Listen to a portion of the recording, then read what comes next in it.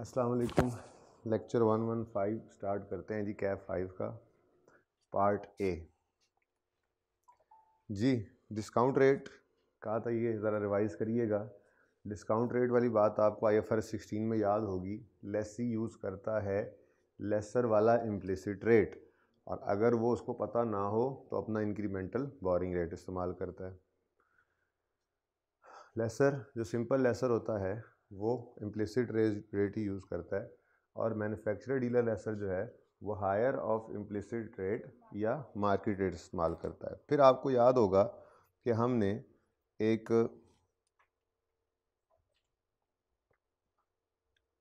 मिसाल के तौर पे डीलर है ना, कार शोरूम वाला ये भी हो सकता है कार शोरूम वाला, ये भी लेसर हो सकता है ख़ुद, या होंडा वाले भी लेसर हो सकते हैं। ऐसे ही है ना?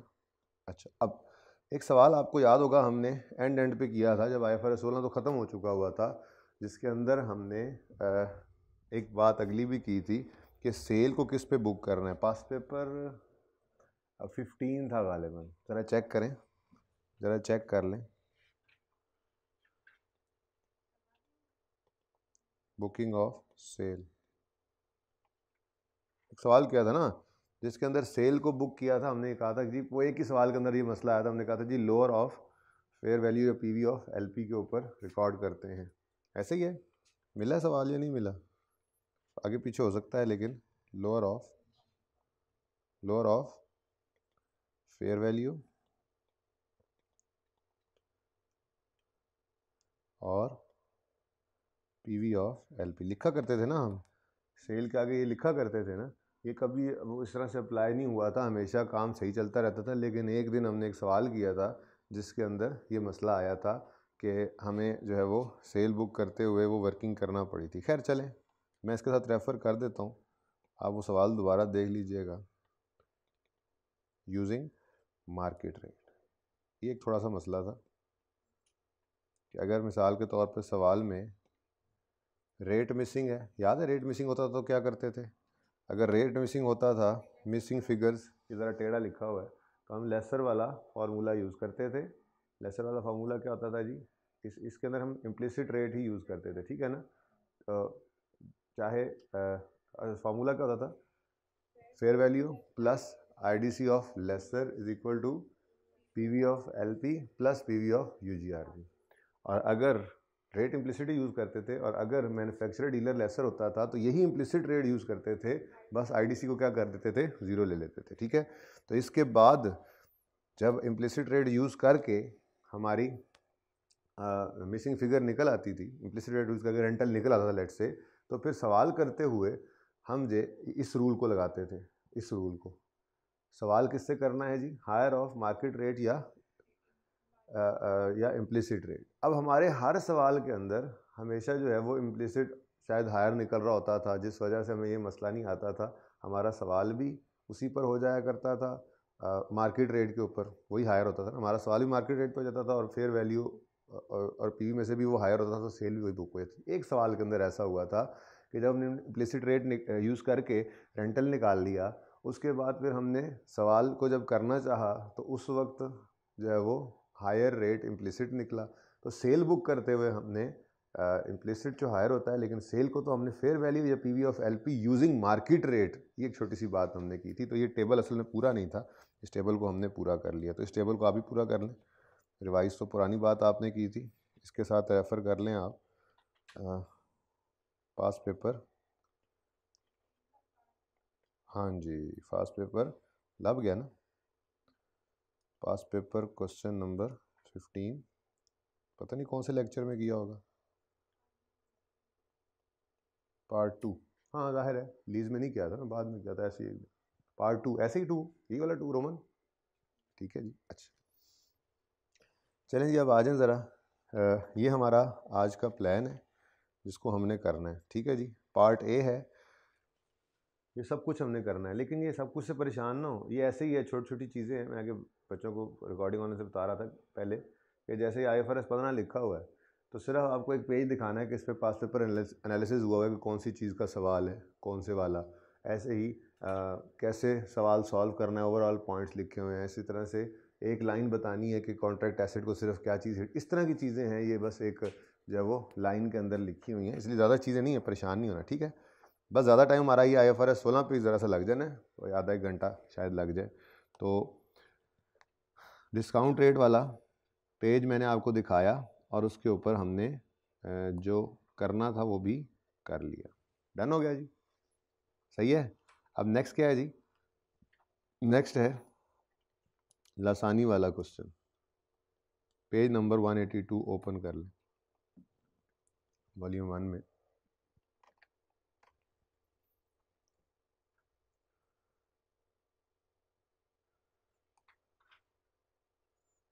जी। Page 182 question number six, Lasani limited, lease an asset from Khan limited, from following are the terms of lease agreement. जी, लासानी ने खान लिमिटेड से एसेट लिया रिक्वायरमेंट है लासानी किताबों में भी, जो है वो, उसके भी रेलिवेंट एक्सट्रैक्ट्स बना दो, ठीक है? Relevant extract of financial statements और जर्नल एंट्रीज कर दो खान की किताबों में, ठीक है? लेकिन मैं आपको वर्किंग करवा देता हूँ। एंट्रीज करवा देता हूँ लासानी की, फिर वर्किंग कर लेते हैं लेसर की, उसके बाद फिर एंट्रीज चाहे सोल्यूशन से आप एक नज़र देख लेना, ठीक है? ज़रा रिवीजन है एक बार, ये रिवीजन कर लेंगे, कुछ चीज़ें याद आ जाएँगी, उसके बाद फिर थोड़ी सी आई एस ट्वेल्व और लेसर की मिक्सिंग करते हैं, उसके बाद फिर बस इसकी डिस्कशन यही है जो रहती है।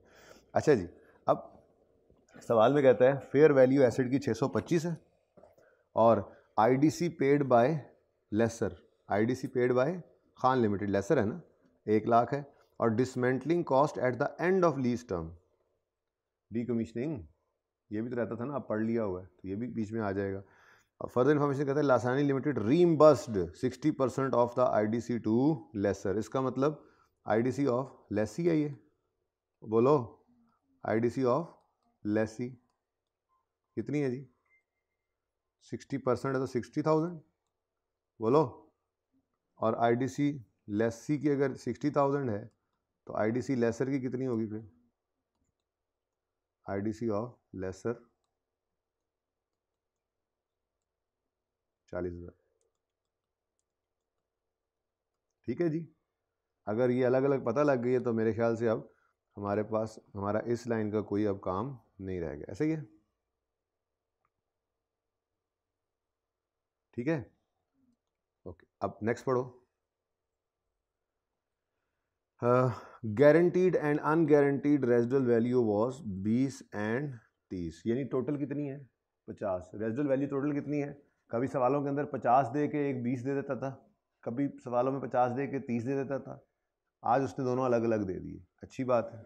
उसके बाद incremental borrowing rate of lessor sorry lessee was ten percent it will be use for dismantling ये उसने खुद बता दिया। ठीक है? और Khan limited desired required rate of return was fifteen percent ये इम्प्लिसिट रेट को कहते हैं। रिक्वायर्ड रेट ऑफ़ रिटर्न किसे कहते हैं जी? इम्प्लिसिट को।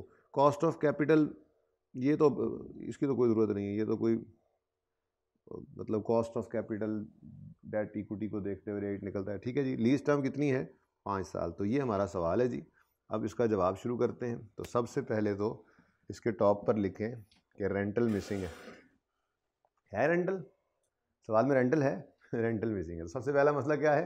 रेंटल मिसिंग है। और रेंटल मिसिंग है तो लेसर वाला फॉर्मूला इम्प्लिसिट रेट यूज़ करते हुए हमने कैलकुलेट करना है रेंटल ठीक है जी? तो फेयर वैल्यू ऑफ़ एसेट है 625 आईडीसी ऑफ़ लेसर है 40 थाउज़ेंड में करेंगे, ठीक है ना?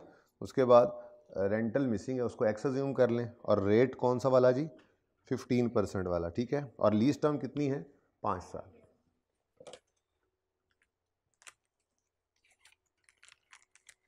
जी क्वेश्चन अच्छा अब एंड पे ना एक काम ये भी करना है बोर्ड की जब बोर्ड पूरा हो जाए ना तो एक पिक्चर यहाँ से वो जो अब बनाते नहीं होते आप लोग, वो भी कर दीजिएगा, वो फिर ग्रुप में शेयर भी कर दीजिएगा।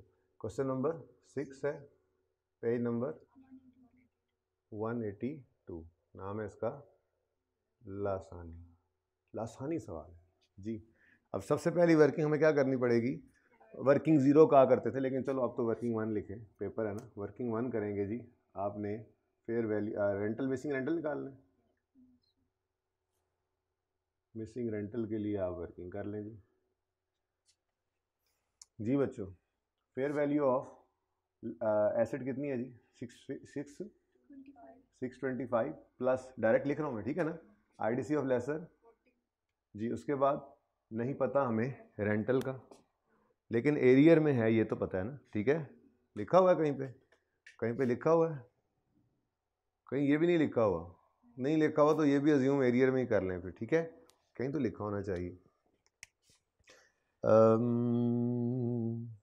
Lasani sixty percent lease term five years ठीक है जी, खामोश है। तो मैं यहाँ पे ऐड कर देता हूँ। अपना सवाल है ना जी? Lease term lease term five years है और रेंटल्स आर चुप भी हो तो यही कर लिया करें, आसानी की तरफ़ जाया करें, ठीक है?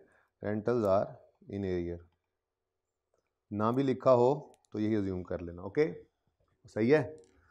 तो x इंटू जी one minus one point one one point one five B क्योंकि इम्प्लिसिट रेट लेना है हमने इस फॉर्मूला के अंदर, और पाँच साल की लीज टर्म है divided by point one five जी, और भी कुछ है? लेसर का फॉर्मूला है लेसर का तो जीआरवी भी आएगा और यूजीआरवी भी आएगा, ऐसा ही है। जीआरवी भी आएगा और यूजीआरवी भी आएगा। लेसर का फॉर्मूला याद है? याद नहीं है तो ये चीज़ें किस लिए होती थी? ये ये समरी ओपन करेंगे। ये तो ज़ाहिर सी बात है, अब इतना अरसा हो गया एक चीज़ को पढ़े हुए तो ये नेचुरल है। इंसान को तो भूलेगा ही। जिन्नों को नहीं भूलेगा जिन्नों को भी भूल जाएगा बल्कि। जी तो मैं आपके सामने समरी ओपन करता हूँ। ये जो समरीज थी, ये जो हमारी समरीज थी, यहाँ पे कहाँ पे गई, कहाँ पे गई, कहाँ पे गई। वैसे फार्मूला यहाँ पहुँचते पहुँचते मुझे बता दो। फार्मूला होता था, बल्कि ऐसे ऐसे भी हमने लिखे हुए थे, ठीक है? फार्मूला होता था, बोलो बोलो। पी वी ऑफ़ लेसर का होता था P V of L P plus P V of U G R V और एल लीज पेमेंट के अंदर, down payment plus rental plus G R V plus U G R V ये। यहाँ से देख लेते हैं। वैसे आपकी समरी में भी ये मौजूद है, ठीक है? लेसर का formula. If ownership will not transfer वाला केस नहीं ओनरशिप विल ट्रांसफ़र वाला केस है, उसकी वजह, नहीं sorry ownership will not transfer वाला केस है, क्योंकि जीआरवी और यूजीआरवी सवाल में आ रही निशानी है। तो क्या फार्मूला जी? Down payment plus rental plus GRV plus UGRV अब डाउन पेमेंट प्लस रेंटल मैंने वहाँ पर ले लिया है, अब जीआरवी प्लस कर रहे हैं, ठीक है? आपकी अपनी समरी में भी है, ये तो वो मैंने आपको दिखाया, जो मैंने क्लास में बनाया था। अपनी किताब में समरी ओपन करेंगे, उसके अंदर भी ये लिखा हुआ है। कौन से पेज पे समरी है? समरीज कौन से पेज पे? समरीज कौन से पेज पे हैं?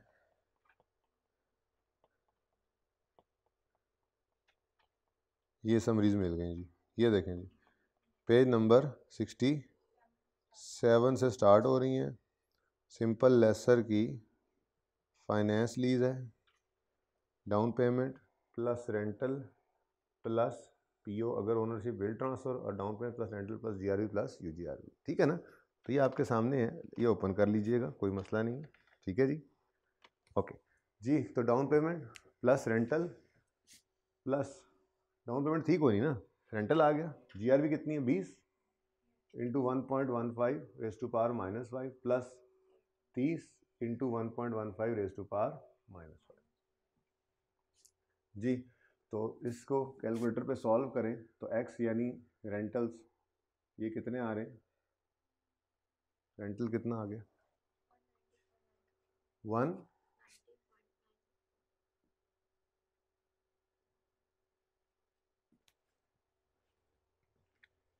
सही है? ठीक है। इसको राउंड कर लीजिए, फिर 190.9 है तो 191 कर लीजिए। कोई नहीं एंड पे राउंडिंग का डिफरेंस आएगा ना। मुसीबत से तो जान छुड़ाएँ, ठीक है? अच्छा जी, अब हमारी, हमारा रेंटल निकल आया आप सुकून से अपनी रूटीन वाली कार्रवाई कर लें। तो 191 इसको करें। और अब अपनी वर्किंग टू लीज पेमेंट्स और फिर present value of lease payments याद आ रहे हैं? और फिर उसके बाद स्केजुअल तो लीज पेमेंट्स जी 191 ninety one into five plus twenty plus thirty कितना आता है total present value of lease payments ji 191 ninety one into one minus one point one five raise to power minus five divided by point one five plus twenty into one point one five raise to power minus five वैसे तो अलग करने की ज़रूरत कोई नहीं है, क्योंकि डीलर मैन्युफैक्चरर लेसर का सवाल होता था। तो हम P V of U G R V को रेड कलर से लेकर चलते थे। लेकिन फिर भी इसको पीवी अलग से निकालने तक लेके चला करें साथ पीवी ऑफ़ एलपी को, क्योंकि जब हमने टेस्ट लगाना होता है फाइनेंस है या ऑपरेटिंग लीज है तो पीवी ऑफ़ एलपी चाहिए होती है, ठीक है? लेसर के सवालों में बेसिकली ये ग्रॉस इन्वेस्टमेंट और नेट इन्वेस्टमेंट लफ्ज़ है। गलत लिख हूँ मैं, ठीक है? ग्रॉस इन्वेस्टमेंट और नेट इन्वेस्टमेंट ये लफ्ज़ है। तो नेट इन्वेस्टमेंट को नहीं यूज़ करना होता था हमने टेस्ट के अंदर, बल्कि पीवी ऑफ़ एलपी को यूज़ इसलिए अलग लेके चलना है, ठीक है? Plus thirty into one point one five raise to power minus five ji answer बता दें। वन डबल ज़ीरो फाइव था ना पिछले जी। अलग अलग पहले एक स्टेप अलग अलग बता दें। इसका बताएँ अलग से। Present value of lease payment का आंसर बताएँ। और फिर present value of U G six fifty plus present value of U G R ten और ये आ गया जनाब। सिक्स सिक्स ये सिक्स सिक्सटी फाइव आया अच्छा सिक्स फिफ्टी और ये? टेन तो ये आ गया सिक्स सिक्सटी। क्यों? ये गलत डिफरेंट नहीं अच्छा नहीं बेटा ये यहाँ तक। सिक्स फिफ्टी और सिर्फ़ ये।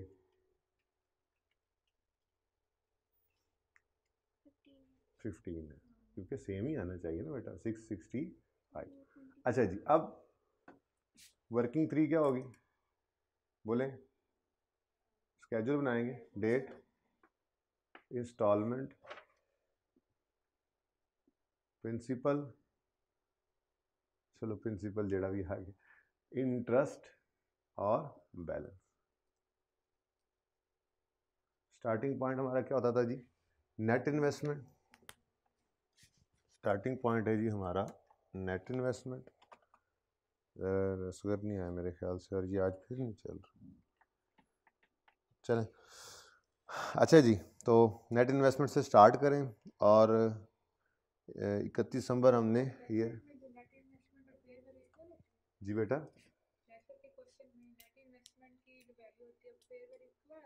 नेट इन्वेस्टमेंट की नहीं भी हो सकती। वैसे नॉर्मली इक्वल ही आ रही होती है सवालों के अंदर, ठीक है? हमारे सवाल के अंदर उसने फेयर वैल्यू से 625 कही है। ये छः सौ पैंसठ हुई हुई है, कोई मसला नहीं, ठीक है? बाज़ार से इतने का मिल रहा है, हो सकता है।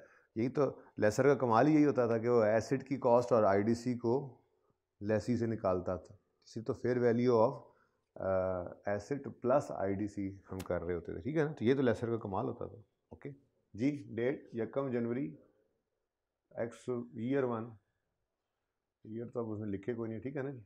ईयर वन जी सिक्स सिक्सटी फाइव उसके बाद इकतीस दिसंबर ईयर वन आएगा। तो इंस्टॉलमेंट पे करोगे एक सौ इक्यानवे की। इंटरेस्ट कितना आता है? पंद्रह परसेंट के हिसाब से। नाइन्टी? Ninety eight. जी। हंड्रेड कर दें। तो बाकी का नाइन्टी वन और ये फाइव सेवेंटी फोर। उन्हें दो साल का मांगा है शायद, दूसरा साल आप घर पे कर लीजिएगा मेरे ख्याल से, कि एक ही साल? है एक ही साल है। चल जी 190 ये 191 की इंस्टॉलमेंट है और 640 के ऊपर 15 परसेंट ये कुछ गलती की आप लोगों ने? क्या गलती की है? चेक करें। चेक करें क्या गलती की है। नहीं, सही नहीं है। 191 हम सवाल करें पहले किसके हिसाब से करें? पहले लेसी के हिसाब से कर लेते हैं। चलें अब ये सिक्स सिक्सटी फाइव और ये वर्किंग चलें अब लेसी वाला लेसर वाला चल रहा है फिर सवाल। लेसी वाला नहीं चल रहा फिर ठीक है ना? नेट इन्वेस्टमेंट मैंने एंड पे किया था ना ठीक है? दोनों के हिसाब से करना था लेकिन चलो। जी तो क्या आ गया जी? ये ए, एक ही काफ़ी है ठीक है? इकतीस दिसंबर ईयर वन अब पहली एंट्री क्या बनेगी? लेसर वाले सवाल की पहली एंट्री क्या होती थी जी बोले। पहली एंट्री होती थी बोले बोले। Lease receivable debit net investment वाली अमाउंट से एसिड क्रेडिट फेयर वैल्यू से और आईडीसी बारों बार जर्नल एंट्री के अंदर आ जाती थी, ठीक है? तो बस यही एंट्री एक कर लें।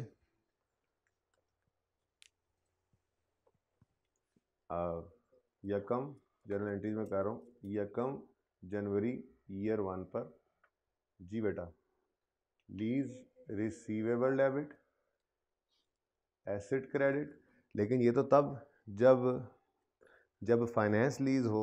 अब फाइनेंस लीज चेक करना है तो पीवी ऑफ़ एलपी सामने पड़ा हुआ है। नहीं गिवन इकोनॉमिक लाइफ नहीं गिवन यूज़फुल लाइफ वो तो चेक नहीं हो सकता, ठीक है? वैसे ओनरशिप ट्रांसफ़र हो रही है, वापस इसको वो चक्कर भी कोई नहीं है। तो फिर एक ही बचता है मामला, वो हमारे सामने पड़ा हुआ है। 650 को डिवाइड करो 625 तो 100 से भी ऊपर आ रहा है। इसका मतलब ये लीज़ फाइनेंस लीज़ है। तो इसलिए फाइनेंस लीज में एसिड किताबों से निकल जाता था, ठीक है? तो एसिड क्रेडिट और कैश क्रेडिट करते थे हम आईडीसी वाली अमाउंट से। और मैंने कहा था इसमें कुछ भी बैलेंसिंग नहीं निकालना। आपने लीज रिसीवेबल को रिकॉर्ड करना है नेट इन्वेस्टमेंट पे। कितनी थी net investment six sixty five asset को रिकॉर्ड करना है आपने फेयर वैल्यू पर। कितना जी? सॉरी सिक्स ट्वेंटी फाइव और बैलेंसिंग नहीं बल्कि six twenty five balancing balancing नहीं लेनी बल्कि सवाल से उठाना है। कितना था? चालीस ही था ना? जी। ये पहली एंट्री होगी। चलो दूसरी भी अब कर ही दो। दूसरी एंट्री क्या बनेगी? इकतीस दिसंबर।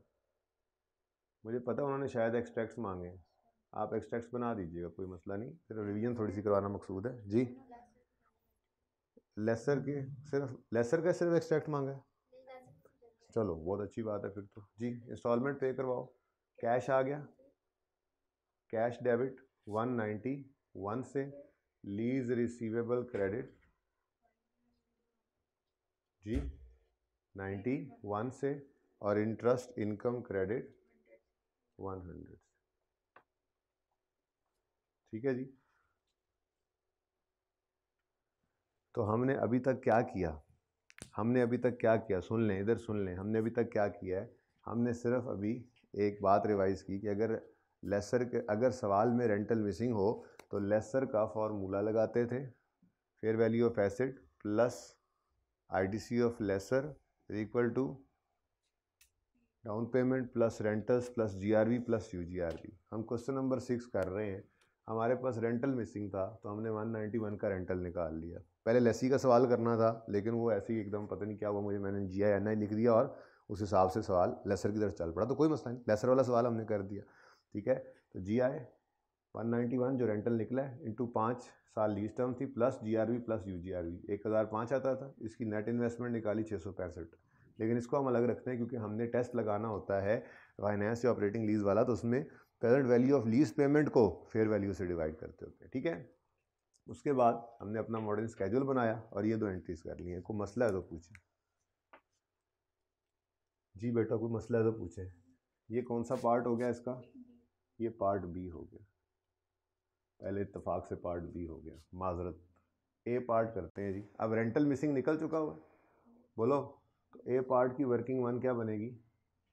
लीज पेमेंट्स 191 अब ज़रा आइए वापस। उस टेबल पे आइए ज़रा वापस।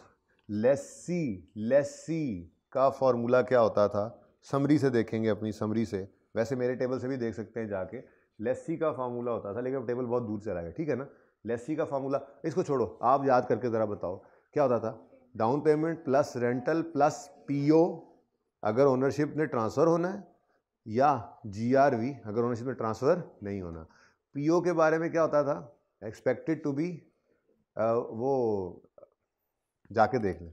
जाके, यहाँ से, यहीं बल्कि यहीं से देखें, यहीं से देखें, क्योंकि आप क्योंकि क्योंकि क्योंकि आप लोगों ने, नहीं, वो जीआरवी के अंदर था, ठीक है? असल में असल में आपके सामने ये होगा, शायद वो टेबल ना आए तो इसलिए यहीं से देखने की आदत रखनी, ठीक है? Ownership will transfer down payment plus rental plus PO अगर रीजनेबली सर्टन है कि वो एक्सरसाइज करेगा, और down payment plus rental plus GRV अगर expected to be paid by lessee ये सबसे पहला टॉपिक है ना, ये देखा जाए तो आई थर्टी एट से बाद में आया था। ठीक है तो थोड़ी सी चीज़ें तो वो थोड़ी थोड़ी ऐसे ज़रा भूल रही होती हैं, लेकिन जैसे ही आप सवाल अभी एक सवाल करेंगे, सारा रिवाइज हो रहा है, ठीक है? मुझे खुद रिवाइज हो रहा है, मैं तो सिर्फ़ देख के आऊँ ये सवाल करने थोड़ा रिवीजन हो जाएगी, फिर मैंने अगली बात करने से पहले ये सवाल करना था रिवीजन के लिए। जी, अब जी, बोलें जी down payment plus rental plus GRV सिर्फ़ लेंगे, ठीक है? तो 191 नाइन्टी वन प्लस जीआरबी कब लेनी है? जब एक्सपेक्ट जितनी, कितनी लेनी है, जितनी expected to be paid by lessee हो अब अपने सवाल की तरफ़ आते हैं। और सवाल के अंदर वो कहता है गारंटीड रेजुअल वैल्यू बीस है और अनगारंटीड तीस है, यानी टोटल कितनी बन गई? टोटल रेजुअल वैल्यू कितनी बन गई जो एस्टिमेटेड होती थी?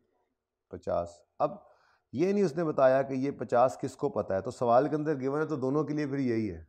ठीक है ना? तो टोटल रेजुअल वैल्यू जो कि एस्टिमेटेड रेजल वैल्यू कहलाती थी। एस्टिमेटेड रेजुअल वैल्यू का लफ्ज़ हम लिखा करते थे, याद है ना? एस्टिमेटेड रेजुअल यानी टोटल कितनी है? टोटल कितनी एस्टिमेटेड बन रही है? रुपीज़ पचास हज़ार।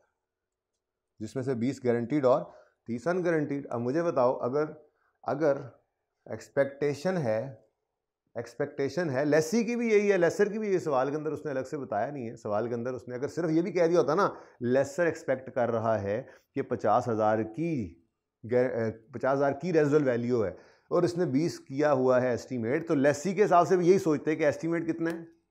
एस्टीमेट कितना है? पूरा पचास। लेसी क्या क्या लेसी ने क्या एस्टीमेट लगाना था जी? पूरा पचास मिलेगा। मैंने गारंटी किया हुआ बीस, इसलिए expected to paid by zero है।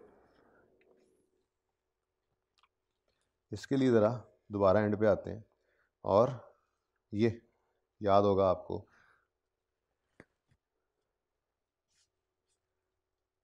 लेसर ने गारंटीज ली थी लेसी से, लेसी के एसोसिएट से और थर्ड पार्टी से। ये सब की सब गारंटीड थी, ठीक है ना? ये तो लेस ये तो लेसर की बात हो रही है ना, पहले लेसी की बात करते हैं। लेसी ने गारंटी किया था नौ रुपये की रेजल वैल्यू को। पहला स्नैरियो क्या है? लेसी ने एस्टीमेट लगाया कि रेजल वैल्यू चार होगी। तो इसका मतलब वो एक्सपेक्टेड टू बी पेड कितना रखेगा? पाँच। याद आ रहा है? स्नैरियोज याद आ रहे हैं? ये टेबल हमने बनाए थे, ठीक है? एक्सपेक्टेड पेड कितना है? पाँच। लेसी ने गारंटी किया था नौ, ज़रा ऐसे है, ठीक है, माजरत। और दूसरा स्नैरियो क्या है? Lessee has estimated that residual value will be ग्यारह। तो फिर एक्सपेक्टेड पेड ज़ीरो लेसी ने गारंटी किया था नौ। तीसरा स्नैरियो क्या है? Estimate of residual value by lessee is not given in question तो फिर G R V expected to be paid is no.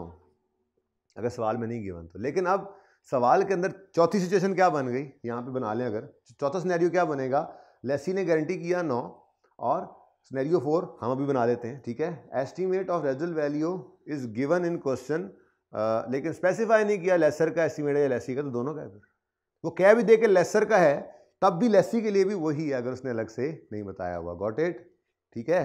तो इसका मतलब ये हुआ कि टोटल रेजल वैल्यू तो 50 थी, अब अगर उसने 20 गारंटी किया तो एक्सपेक्टेड भी पेड एक्सपेक्टेड भी पेड कितना होगा? जी, कुछ भी नहीं होगा प्लस ज़ीरो टोटल कितना हो गया? One ninety one into five nine इस स्पीड से चले तो आज नहीं पूरा होता P V of L P ji one ninety one into one minus one point अब ये भी इम्प्लिसिट रेट ही यूज़ करेगा।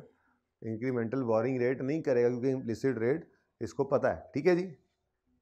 इस to power minus five divided by point one five आगे तो कुछ है नहीं। जी पी वी सिक्स फोर्टी उसके बाद फेयर वैल्यू ऑफ़ एसेट के बराबर आ गई वर्किंग टू करते थे हम।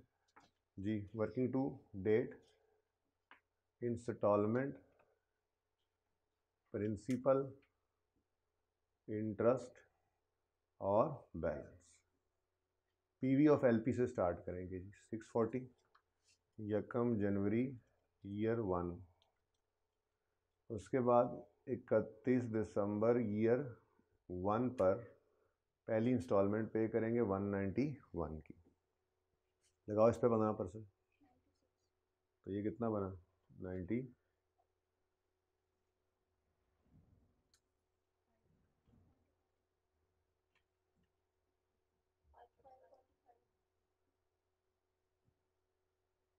जी तो पहली एंट्री उसने टैक्स मांगे हुए हैं। एंट्रीज भी हैं चलो फिर एंट्रीज ही कर देते हैं एक्सट्रैक्ट का क्या करना है। ठीक है एक्सट्रैक्ट तो आप बना ही लेंगे ठीक है? तो आ, एक और चीज़ भी थी और वो चीज़ थी लेसी का सवाल आ गया ना असल में तो मैंने इसलिए सवाल करवाया था किधर गया ये। Dismantling cost at the end of lease term देखें जी लेसी ने एसिड लिया है, उसने इंस्टॉल करना है तो डिसमेंटलिंग कॉस्ट भी उसी के ऊपर ही है। लेकिन आपको याद है? आपको कहाँ याद होना है? आपको तो मैंने याद करवाना है। आपको याद है कि मैंने कहा था कि आईडीसी है डिसमेंटलिंग है, ये सारी चीज़ें जो है राइट ऑफ़ यूज़ जो मतलब उसकी आईडीसी आती थी और जो राइट ऑफ़ यूज़ की प्रोविज़न फॉर डिसमेंटलिंग वगैरह थी, ठीक है? और इंसेंटिव वगैरह हो गया, ठीक है? तो ये सारे के सारे हम वर्किंग वन टू में नहीं लेकर आते थे, बल्कि इनको बारों बार लेकर जाते थे। ये एक डिस्कशन हुई थी इस तरह से बनी हुई भी है सबूत के तौर पे। आईडीसी इंस्टॉलेशन डिसमेंटलिंग ये कभी भी वर्किंग वन टू को हिट नहीं करेंगे, बल्कि ये बारों बार हमने कहा था जर्नल एंट्रीज में आएँगे, ठीक है? Asset debit right of use debit cash credit right of use debit installation वाला cash credit right of use debit और provision for dismantling present value निकाल कर क्रेडिट ठीक है? चलो, इसका मतलब ये हो गया कि हम बाकी सारा सवाल तरतीब से ऐसे ही कर लेंगे। आपके सामने ये मैंने स्केजूल बना दिया, लेकिन एक वर्किंग एडिशनल करेंगे। उस वर्किंग के अंदर हमने present value of decommissioning निकालनी ये क्या कह रहे हैं? Cost of dismantling at the end of lease term end of lease term पे कितनी है? एक लाख। ठीक है? अब यकम जनवरी के ऊपर इसको लाना है तो ये दस परसेंट रेट उसने कहा है यूज़ करना, आपने खुद बता दिया उसने किसके लिए? डिसमेंडलिंग के लिए, ठीक है? तो अब आप वर्किंग कर लें, एक अदद और वर्किंग थ्री वही जो आप अब काफ़ी प्रैक्टिस करके आए हुए हैं डेट डिस्क्रिप्शन लेकिन एसिड को यहाँ पे बनाने की ज़रूरत नहीं है, सिर्फ़ क्या बना लें? प्रोविज़न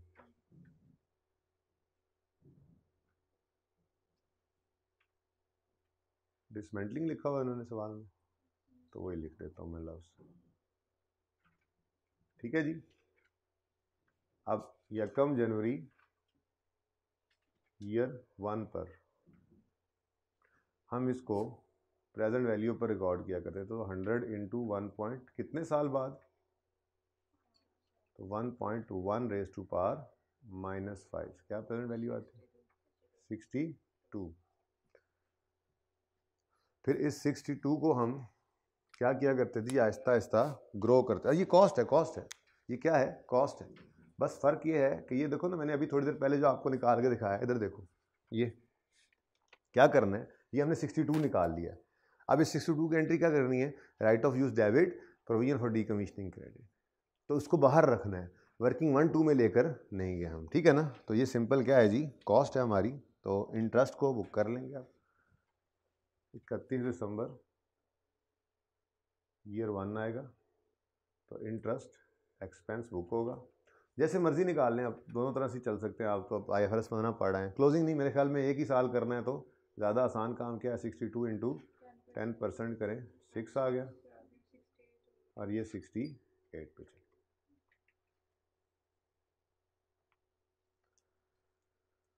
जी, अब ये कैरिंग वैल्यू कैरिंग अमाउंट आ गई हमारे पास। इकतीस दिसंबर ईयर अब दिमाग में एंट्रीज जल्दी से दौड़ाएँ। ये एंट्रीज मैंने आपके सामने दिखा भी दी हैं, आपको इधर देखें। ये एंट्रीज देखें इधर। ये। अब दिमाग में ज़रा एंट्रीज दौड़ाएँ, फिर मैं एंट्रीज कर देता हूँ।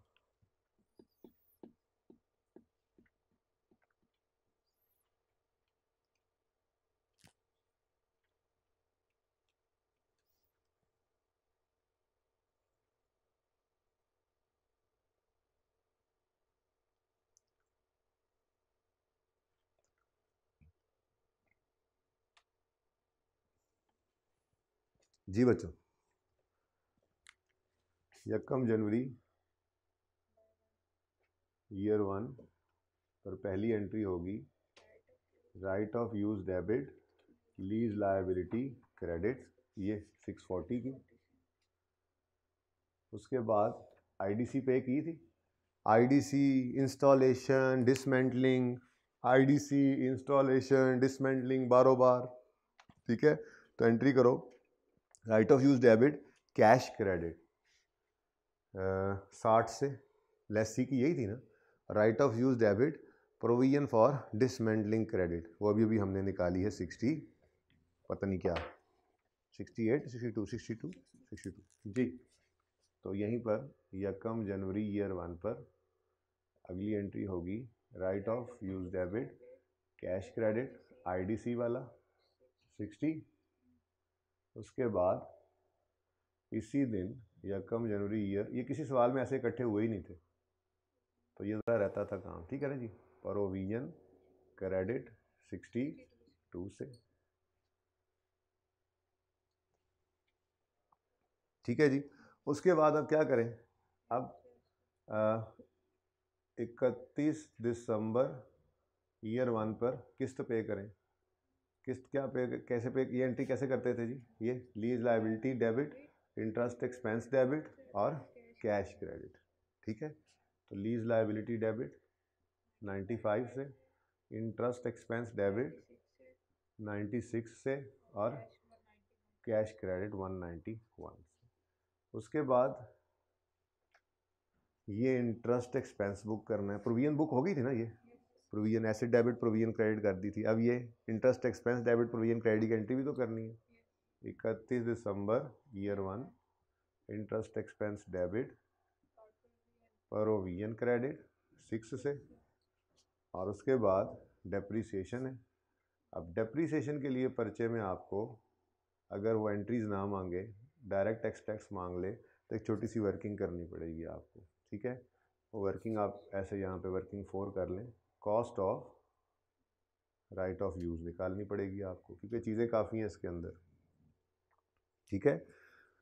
राइट ऑफ़ यूज़ की कॉस्ट के अंदर ये सारी चीज़ें शामिल होती थी तो ये इधर लिखा हुआ है। क्या चीज़ें? पहले सफ़े पे था गालिबन मैंने पढ़ाया भी था आपको। चलो खैर, याद है आपको थोड़ा थोड़ा तो। तो पहला सफ़ा पढ़ेंगे ना, जहाँ पे लिखा हुआ था राइट ऑफ़ यूज़ के अंदर होता है P V of L P ठीक है? उसके बाद, ये सारी चीज़ें राइट ऑफ़ यूज़ नहीं है P V of L P installation dismantling की प्रोविज़न उसके बाद कोई जो है वो मतलब तीन ही थे वैसे। कोई इंसेंटिव होता था तो वो पहली लीज, पहले उसमें से माइनस कर देते थे, कोई पेनल्टी थी तो ऐड कर देते थे, ठीक है? तो राइट ऑफ़ यूज़ में P V of L P आएगा हमारा सिक्स फोर्टी इंस्टॉलेशन कोई नहीं है। उसके बाद पेमेंट बिफोर कमेंसमेंट असल में मैं कहता हूँ चले ही जाए, मुझे कुछ कुछ याद आ रहा है तो आपको सारा याद आ जाए।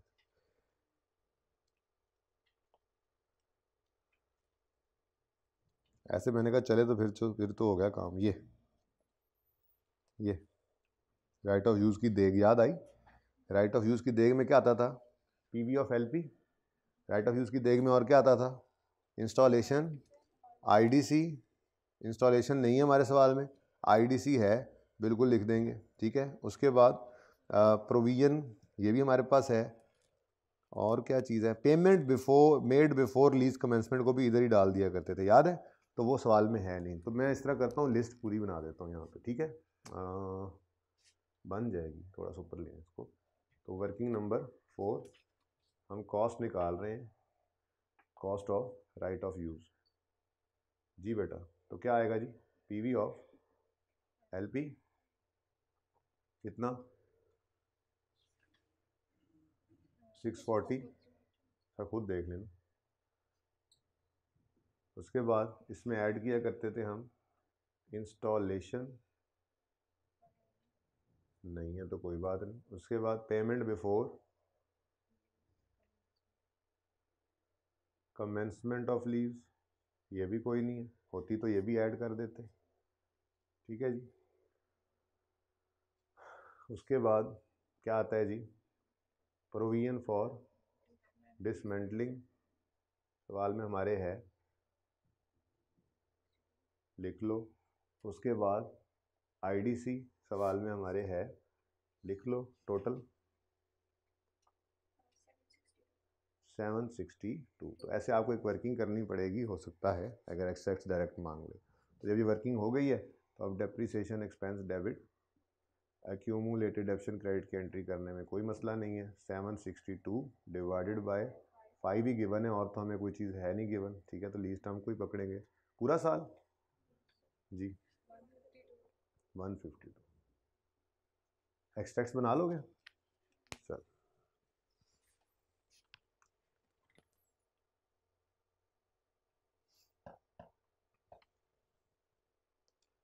अच्छा चलें जी। थोड़ी सी लीज की रिवीजन की हमने। अब लीज की रिवीजन के बाद किधर गया हमारा सफ़ा? अब हमने क्या करना है जी? अब हमने ज़रा पास पेपर ट्वेल्व के ऊपर आएँ। इसके पार्ट बी को ज़रा थोड़ा सा देखना था हमने। ये आई थिंक डिटॉल वाला सवाल है ना, ठीक है? पास पेपर ट्वेल्व ज़रा ओपन करें। ज़रा घुमा फिरी चलेगी माजरत के साथ। पेज मैंने लिखा तो है, कोशिश की है, कहीं पे पेज मिस भी हो गया, इसलिए इसका पेज मिसिंग है तो आप बताएँ अब। पास पेपर ट्वेल्व, लीज का, जी। वन फोर्टी नाइन पे। आर यू श्योर ओके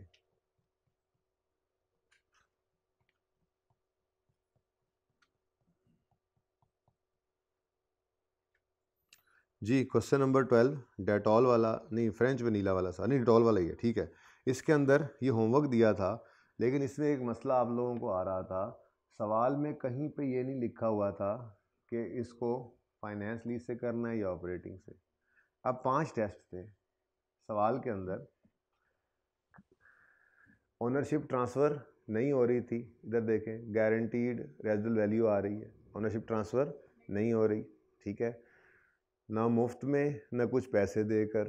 तीसरा टेस्ट होता था इकोनॉमिक लाइफ का मेजर पोर्शन लीज टर्म है। अब लीज टर्म कितनी थी सवाल के अंदर? सवाल के अंदर तीन साल लीज टर्म थी इकोनॉमिक लाइफ या यूज़फुल लाइफ का ज़िक्र भी इस सवाल में नहीं था। जब आप रिवीजन में सवाल को करेंगे ना तो आपको नज़र आएँगी ये चीज़ें, ठीक है? उसके बाद आखिरी हल बचता था कि इसकी present value of lease payment को फेयर वैल्यू ऑफ़ एसेट पे डिवाइड कर दें सवाल के अंदर फेयर वैल्यू एसेट की भी गिवन नहीं थी और स्पेशलाइज्ड भी नहीं था। तो सारे के सारे जवाब जो हैं वो नो आ गए। आई के का सोल्यूशन जब आया तो ये फाइनेंस लीज से सॉल्व किया हुआ था। फिर ईमेल की, उनको कहा, यार, ये क्या मसला है?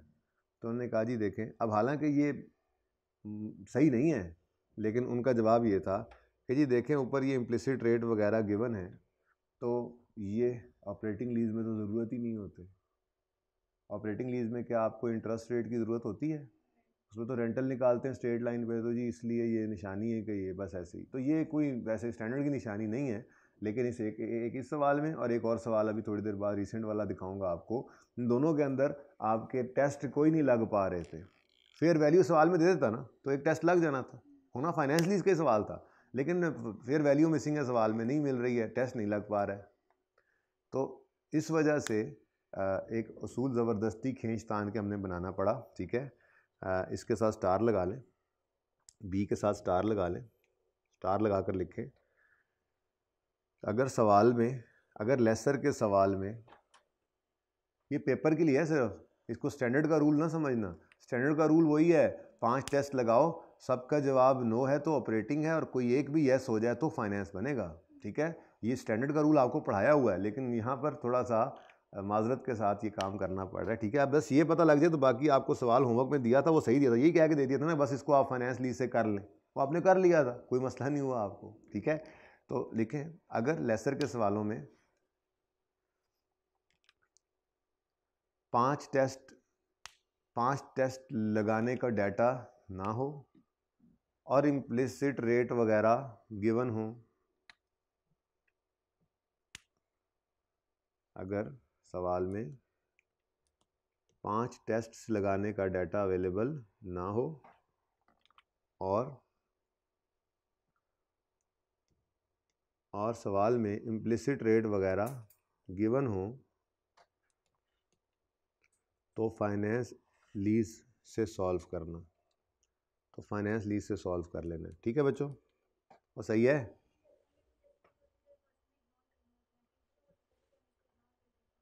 बेटा, किसको इग्नोर करते? इसको हाँ इस अटैम्प्ट के अंदर जिन्होंने ऑपरेटिंग लीज से किया होगा, उसको भी उसको नंबर देने चाहिए थे उसूली तौर के ऊपर। क्योंकि उसने तो डाटा दिया नहीं हुआ। तो जिन्होंने ऑपरेटिंग लीज से किया था, वो भी पास हुए थे बाद में। बच्चों ने कहा था, जी, हमने तो कर दिया था। तो कर देना आपने। बहरहाल, आपको मैं सिर्फ़ ये बात कर रहा हूँ कि ये उन्होंने जवाब दिया था ईमेल में उनको डालने के बाद, यार, ये क्या मसला है यार? क्या तमाशा ठीक है? जी बच्चों, चलें आगे।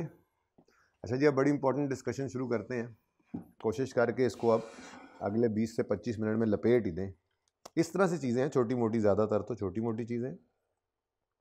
ये मैंने आपको पार्ट बी करवा दिया कौन से पेज पे था ये? Page one forty nine. ठीक है जी। अच्छा जी, उसके बाद अब पेज सेवन फोर्टी नाइन है आपके वॉल्यूम, टू के अंदर होगा प्रॉबेबली देखें ज़रा। तीन, चार सवाल होंगे। एक मैंने होमवर्क देना है आपको। क्वेश्चन वन करवाऊँगा टू होमवर्क में, फिर थ्री करवाऊँगा और फोर करवाऊँगा। इसकी पिक्चर इस तरह से करके ले लें। प्रॉपर जैसे वो बनाते होते हैं आप लोग। फ़ौरन ले लेनी है, पूरे बोर्ड की पिक्चर लेनी है, उस साइड की, उसके बाद भी मैंने इसको मिटाना है। ऑनलाइन वालों ने ले ली होगी पिक्चर अब आप इधर ले आएँ।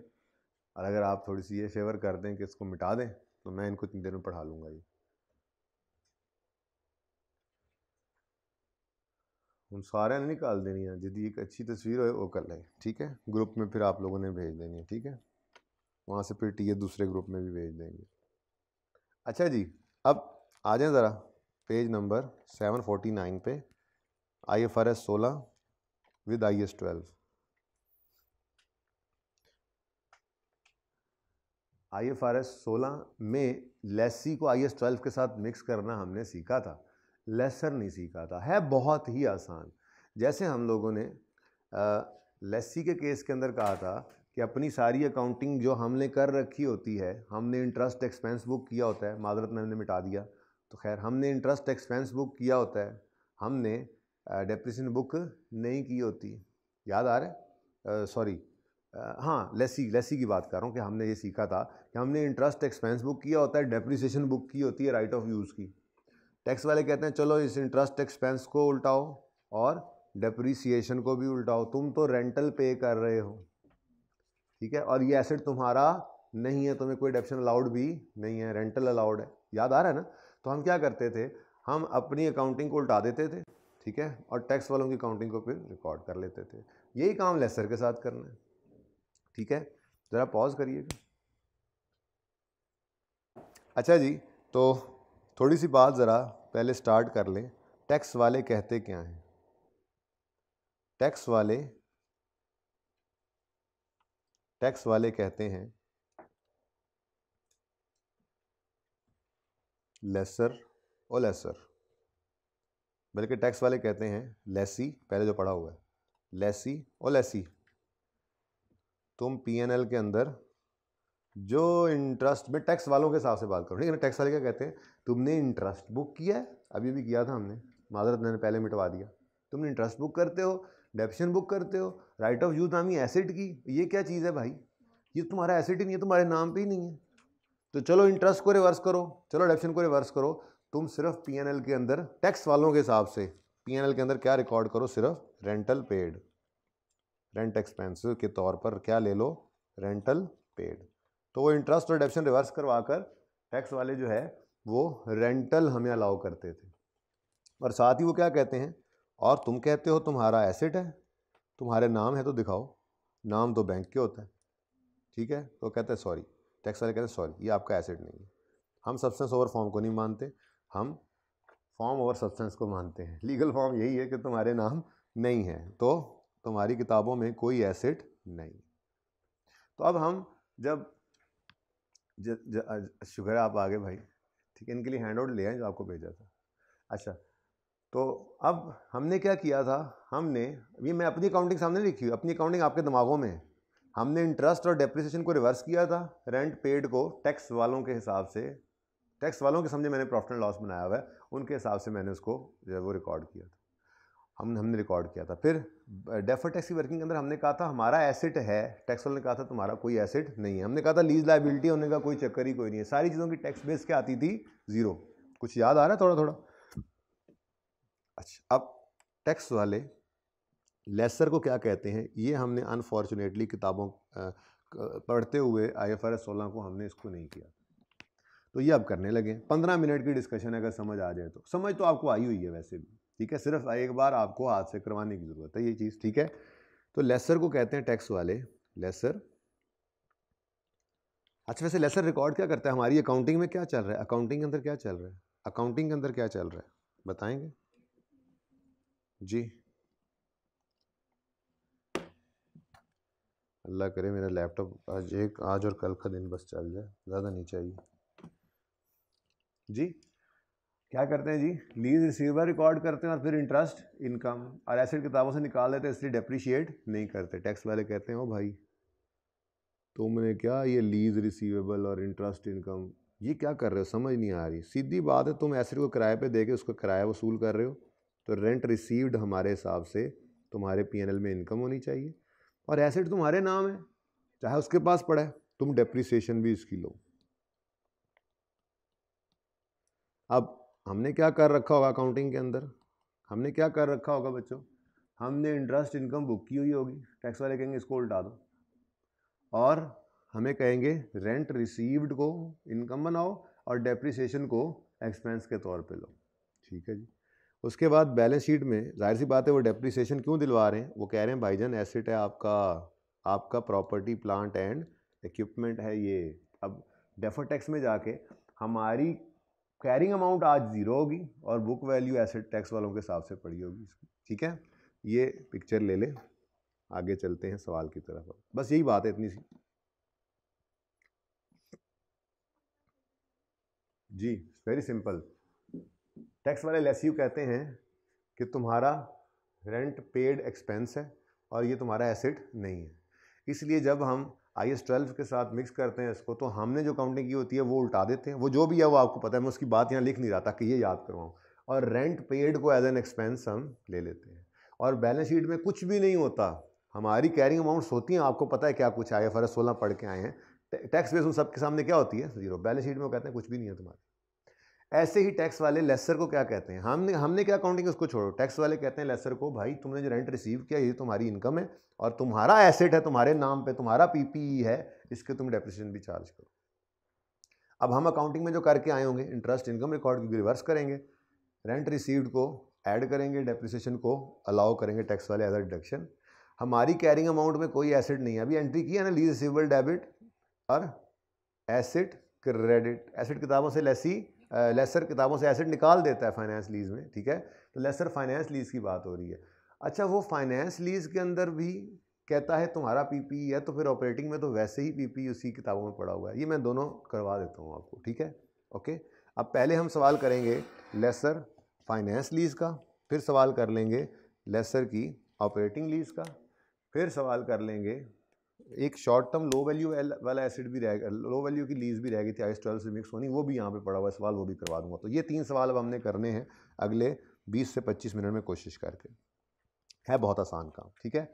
पूरी कहानी सामने आ जाएगी ना। X Y Z limited a lessor lease is equipment to A B C a lessee with a fair value of सैंतीस नौ सौ आठ in terms of finance lease agreement the lease begins on यकम जनवरी दो हज़ार पाँच, ठीक है जी? देर आर पाँच इंस्टॉलमेंट्स ऑफ़ दस हज़ार each payable annually in arrear and the discount rate implicit जो है वो दस परसेंट है. टैक्स अथॉरिटीज़ जो कहती हैं वो बाद में देखते हैं. टैक्स रेट एप्लीकेबल भी बाद में देखते हैं. यही लाइनें तो पढ़ी थी कि लेसर का सवाल के साथ आई एस ट्वेल्व मिक्स हो गया, ठीक है? ये हम बाद में देखते हैं. सबसे पहले तो हम अभी जो रिवाइज़ किया, उसको ज़रा क्विकली कर लें. अब छोटा सवाल है, ठीक है? लेसर का सवाल है लेसर का. लेसर ने इक्विपमेंट दिया है, ठीक है? लेसर के सवाल में क्या आता है जी? ग्रॉस इन्वेस्टमेंट और नेट इन्वेस्टमेंट कोई जीआरवी कोई यूजीआरवी नहीं है, ठीक है? तो वर्किंग वन में gross investment working one gross investment जी कितना रेंटल है दस हज़ार? दस हज़ार ही था ना? दस हज़ार, ये देखो इंस्टॉलमेंट ये दस हज़ार की पाँच इंस्टॉलमेंट से मोबाइल वाले भाई, जी इंटू पाँच, कितना आ गया? पचास हज़ार। उसके बाद नेट इन्वेस्टमेंट निकालनी है तो दस हज़ार into one minus one point ten percent है। माइनस फाइव एरियर में थी ना तो सारी की सारी डिस्काउंट कर लें। ठीक है जी? कितना आता है?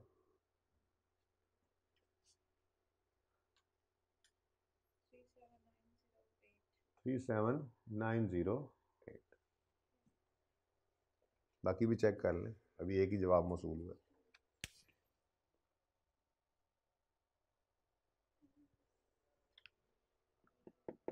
जी, उसके बाद अगला काम करते थे हम अमोटाइजेशन स्केड्यूल बनाते होते थे।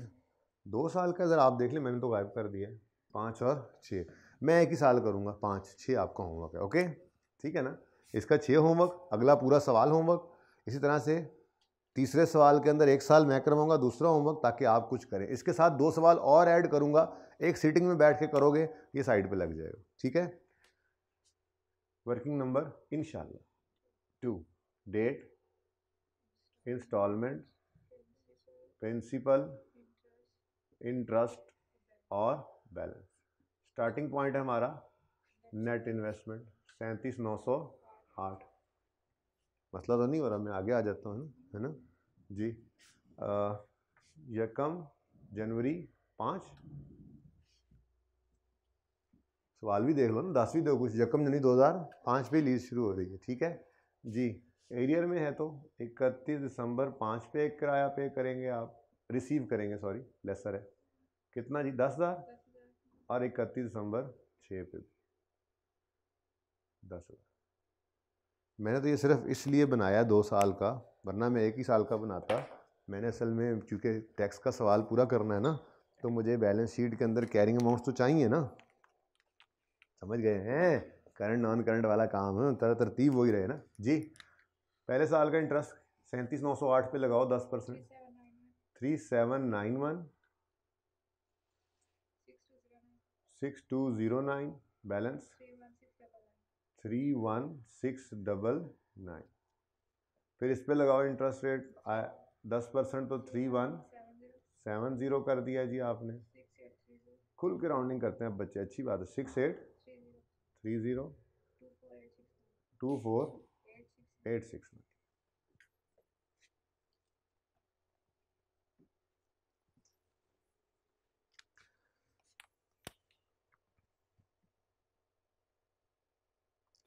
अच्छा बच्चों, अब मैं बैलेंस शीट इनकम स्टेटमेंट नहीं बना रहा, ये आपके दिमाग में बनी होनी चाहिए, ठीक है ना? ये वर्किंग हो गई है।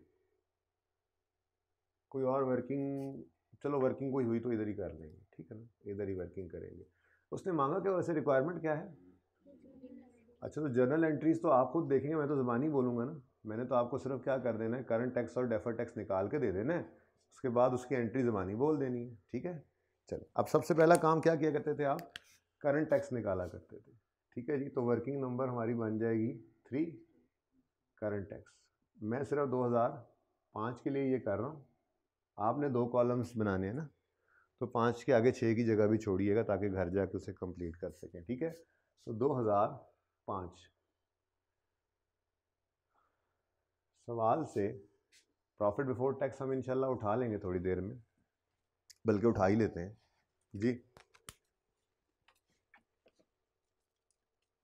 Tax applicable to company is thirty five percent accounting profit for the year इकतीस दिसंबर इज़ एक लाख, जो दो हज़ार छः का, हमें दो हज़ार पाँच वाला चाहिए एक लाख पचास हज़ार। तो वन फिफ्टी आ गया। थाउज़ेंड में चल रहे हैं ना हम? वन फिफ्टी अब लेसर का सवाल है तो हमने क्या किया होगा? इनकम स्टेटमेंट में हमने क्या किया होगा? हमने इनकम स्टेटमेंट में ये इंटरेस्ट बुक किया होगा। टैक्स वाले कह रहे हैं, अभी आपको मैंने दिखाई दिखाई टैक्स वालों के हिसाब से प्रॉफिट एंड लॉस क्या है? वो कहते हैं आपकी तो rent received rental received income है और आपकी रेंट रिसीव्ड इनकम होगी और दूसरी आपका एसेट डेप्रिसिएशन है आपकी। लेकिन हमने तो ये सिर्फ़ इंटर हम तो किताबों से निकाल चुके होते थे। पहली एंट्री करके write off use debit lease liability sorry lessor है। Lease receivable debit asset credit करके निकाल चुके होते थे। हम तो सिर्फ़ इंटरेस्ट इनकम बुक करते थे ठीक है ना? तो सबसे पहला काम क्या करवाएँगे? वो कहेंगे कि आपने पीबीटी तक आते आते ये जो इंटरेस्ट इनकम ऐड कर ली है इसको क्या कर लें? लेस कर लें। क्या कर लें जी? इंटरेस्ट इनकम ठीक है जी? थ्री सेवन तो रुपीज़ में ही करवाओ ना फिर सारा सवाल। एक लाख? आपने कहा था थाउज़ेंड में चल रहे हैं। थ्री सेवन नाइन वन ये उन्होंने क्या करवा दिया जी हमसे? लेस बल्कि मैं पहले यूँ करता हूँ जो हमने किया था उसको उल्टा रहे हैं ये ये बात पहले लिख लेते हैं ठीक है ना? दूसरा काम क्या हुआ करता है जी? दूसरा काम होता है वर्किंग और मैं अब कर रहा हूँ defer tax liability slash asset as on ये आपने एक और भी करनी होगी, मैं फ़िलहाल इकतीस दिसंबर दो हज़ार पाँच की आपको करके दे रहा हूँ। टैक्स रेट क्या है जी? थर्टी फाइव परसेंट डिफरेंस आता था यहाँ। और टैक्स बेस कैरिंग अमाउंट जी, बताओ जी, को पीपीई हमारी किताबों में होगा? फाइनेंस लीज है, उसने सवाल में बता दिए, टेस्ट टेस्ट लगाने की ज़रूरत नहीं, असल में तो वो आपको आते हैं ऐसे यहाँ जो चीज़ सिखाई जा रही है, वो ये ठीक है जी? तो ये मामला है जी, फाइनेंस लीज है तो हमने जो कर रखा था, वो ये था कि हमने एसिड किताबों से निकाल दिया था और हमने सिर्फ़ ये इंटरेस्ट इनकम बुक की थी। एंट्री की थी ना cash debit lease receivable credit asset के पैसे और इंटरेस्ट इनकम क्रेडिट याद आ रहा है? Cash debit lease receivable credit interest income मैंने कहा, ये क्या है? उल्टा दो। अब हमने ये इनकम बुक की हुई थी और एसिड कोई नहीं था। उन्होंने कहा कि नहीं, आपका एसिड है। आपका एसिड है। उन्होंने कहा, जी, आपका एसिड है। हमने कहा अच्छा तुम क्या कह रहे हो? हमारा एसिड है? तो फिर देखा और तुम्हारे एसिड की कॉस्ट भी है। कितनी है? एक काम कर लेते हैं। इसको अगर आप कहें ना तो अलग अलग रख लेते हैं, ठीक है ना? बल्कि यूँ कर लेते हैं ना, हम, हमने हमने क्या रिकॉर्ड किया हुआ था? असल में दिमाग के अंदर चलानी है अपनी अकाउंटिंग ठीक है? लीज रिसीवेबल हमने रिकॉर्ड किया हुआ लीज रिसीवेबल बोलो, ये अपने साल के आखिरी पेमेंट के नीचे लाइन लगाते थे और कहा करते थे जी, ये करंट और ये नॉन करंट ये दोनों टोटल करके बैलेंस शीट में अलग अलग शो करते थे, ठीक है ना? लेकिन इस टॉपिक के लिए आपको क्या बताया हुआ है? कि आपने इन दोनों को क्या कर दिया करना है? Add six eight three zero plus two four eight six nine six eight two zero था plus two four three zero अच्छा six eight three zero plus two four eight six nine जी, कितना लीज रिसीवल हमारे पास पड़ा है? Three one six double nine अच्छा अब इधर देखो। हमारे हिसाब से कोई पीपीई नहीं है। ठीक है? हम कह रहे हैं जी कोई पीपीई नहीं है। लीज रिसीवेबल रिकॉर्ड किया हुआ है और इंटरेस्ट इनकम बुक कर रहे हैं। वो अभी आगे कहेंगे लिए इंटरेस्ट इनकम को उल्टा दो इंटरेस्ट इनकम को उल्टा दो और आपका एसेट है उसको डेप्रीशिएट भी करो। अब टैक्स बेस की अगर बात करें तो पीपीई की टैक्स बेस है। पर पीपीई का अगर अगर हमारा पीपीई है तो उसकी डेप्रीसिएशन भी है। Depreciation expense of property plant and equipment एक तो कहेंगे इसको लेस करो, और दूसरा वो कहेंगे आपकी इनकम क्या है? रेंटल रिसीव्ड समझ में आती है बात? यानी जो हमने रेंटल रिसीव किया दस हज़ार उसको वो कह रहे हैं, आपकी इनकम है, ये कोई इनकम नहीं है। और साथ ही कह रहे हैं, ये जो आपने एसिड ख़रीदा है एसिड कितने का ख़रीदा हुआ है? एसिड कितने का ख़रीदा हुआ है? यहाँ लिखा होगा। जी, ये three seven nine zero eight इसकी फेयर वैल्यू है, ठीक है? ओहो तो three seven nine zero eight आपका एसेट है और कहीं पे इसकी लाइफ गिवन है? रेट गिवन है टैक्स वाले खुद अपना रेट बताएँगे। Okay tax authorities grant twenty percent allowance on equipment on straight line basis तो ट्वेंटी परसेंट डेप्रिसिएशन रेट है। तो कितना जी? क्या फेयर वैल्यू गिवन है जी? क्या fair value given nine zero eight का। ट्वेंटी परसेंट कितनी डेप्रिसिएशन एट ठीक है जी। वो ये कह रहे हैं कि भाईजान ब्लैक को उल्टा दें। आपको हम लाल वाला अलाउ करते हैं। ब्लैक क्या था? हमने इनकम बुक की हुई थी, उन्होंने कहा इसको रिवर्स करो। और उन्होंने कहा, आप रेंट रिसीव्ड को इनकम बनाओ और आपका एसेट है, इसको डेप्रिशिएट करो। हमने कहा जो जो लीज रिसीवेबल था? कहने लगे, वो क्या होता है? हम तुम्हें बताते हैं, तुम्हारा पीपीई है, जो सैंतीस नौ सौ आठ का था, सैंतीस नौ सौ आठ का था पीपीई ऐसे लिख देता हूँ, लाल से ज़रा पता लग जाए, ठीक है ना? टैक्स वालों ने कहा था। और उसमें से seven five eight two depreciate हो गया है और बुक वैल्यू इसकी है three zero three two six. सवाल तो ख़त्म हो गया। डिफरेंस बताएँ जी। Three one six double nine. अब कैरिंग अमाउंट एसिड की ज़्यादा है टैक्स बेस से तो टैक्सेबल टेम्परेरी डिफरेंस और इधर एसेट की टैक्स बेस ज़्यादा है कैरिंग अमाउंट से तो ये डिडक्टेबल टेम्परेरी डिफरेंस इनका नेट करें तो नेट में टैक्सेबल आता नज़र आ रहा है मुझे तो। Six two, zero two. तो टोटल लोन प्लस नहीं करता गुड़िए? जी, one three one three, seven three का टैक्सेबल टेम्परेरी डिफरेंस आ गया। और इस पर लगा दें, पैंतीस परसेंट तो आंसर आ गया। Four eighty one, defer tax लाया तो वर्किंग नंबर फाइव अब करोगे आप डेफर टैक्स लाइबिलिटी का, या एसिड का लेजर लाइबिलिटी आई है स्लैश एसिड भी आप लिख सकते हैं, ठीक है जी? अब ओपनिंग क्या होना चाहिए जी? ओपनिंग क्या होना चाहिए? ओपनिंग क्या होना चाहिए बोलो? लीज बिगिन कब हो रही है? ओ होश करो। लीज बिगिन कब हो रही है? हमारे साल के पहले दिन, ठीक है? तो फिर defer tax liability brought down zero आ गई और कैरी डाउन वर्किंग फोर के अंदर आपने फोर एटी वन निकाली है। ब्लू मार्कर से बैलेंसिंग फिगर निकाला करते थे। आई एस ट्वेल्व भी रिवाइज हो रहा है आज। है जी? जी। D T E four eighty अब उन्होंने क्या कहा था? सवाल में एंट्रीज करनी है। अब इधर देखो। आ, एक मिनट एक मिनट। एक मिनट जल्दी आ जाओ यार, आज बहुत इंपॉर्टेंट बात हो गई यार। बहुत लेट कर दिया तुमने। जी, ज़रा निकालें टैक्स से बल। इन टैक्स से बल प्रॉफिट निकालें। टैक्स से बल प्रॉफिट जी। One three six two seven और इस पर निकालें tax at the rate of thirty five percent ji four seven four seven six nine भाई इधर देखो अभी हमने क्या बात की ज़रा देखो एक मिनट शायद समझ आई जाए ठीक है?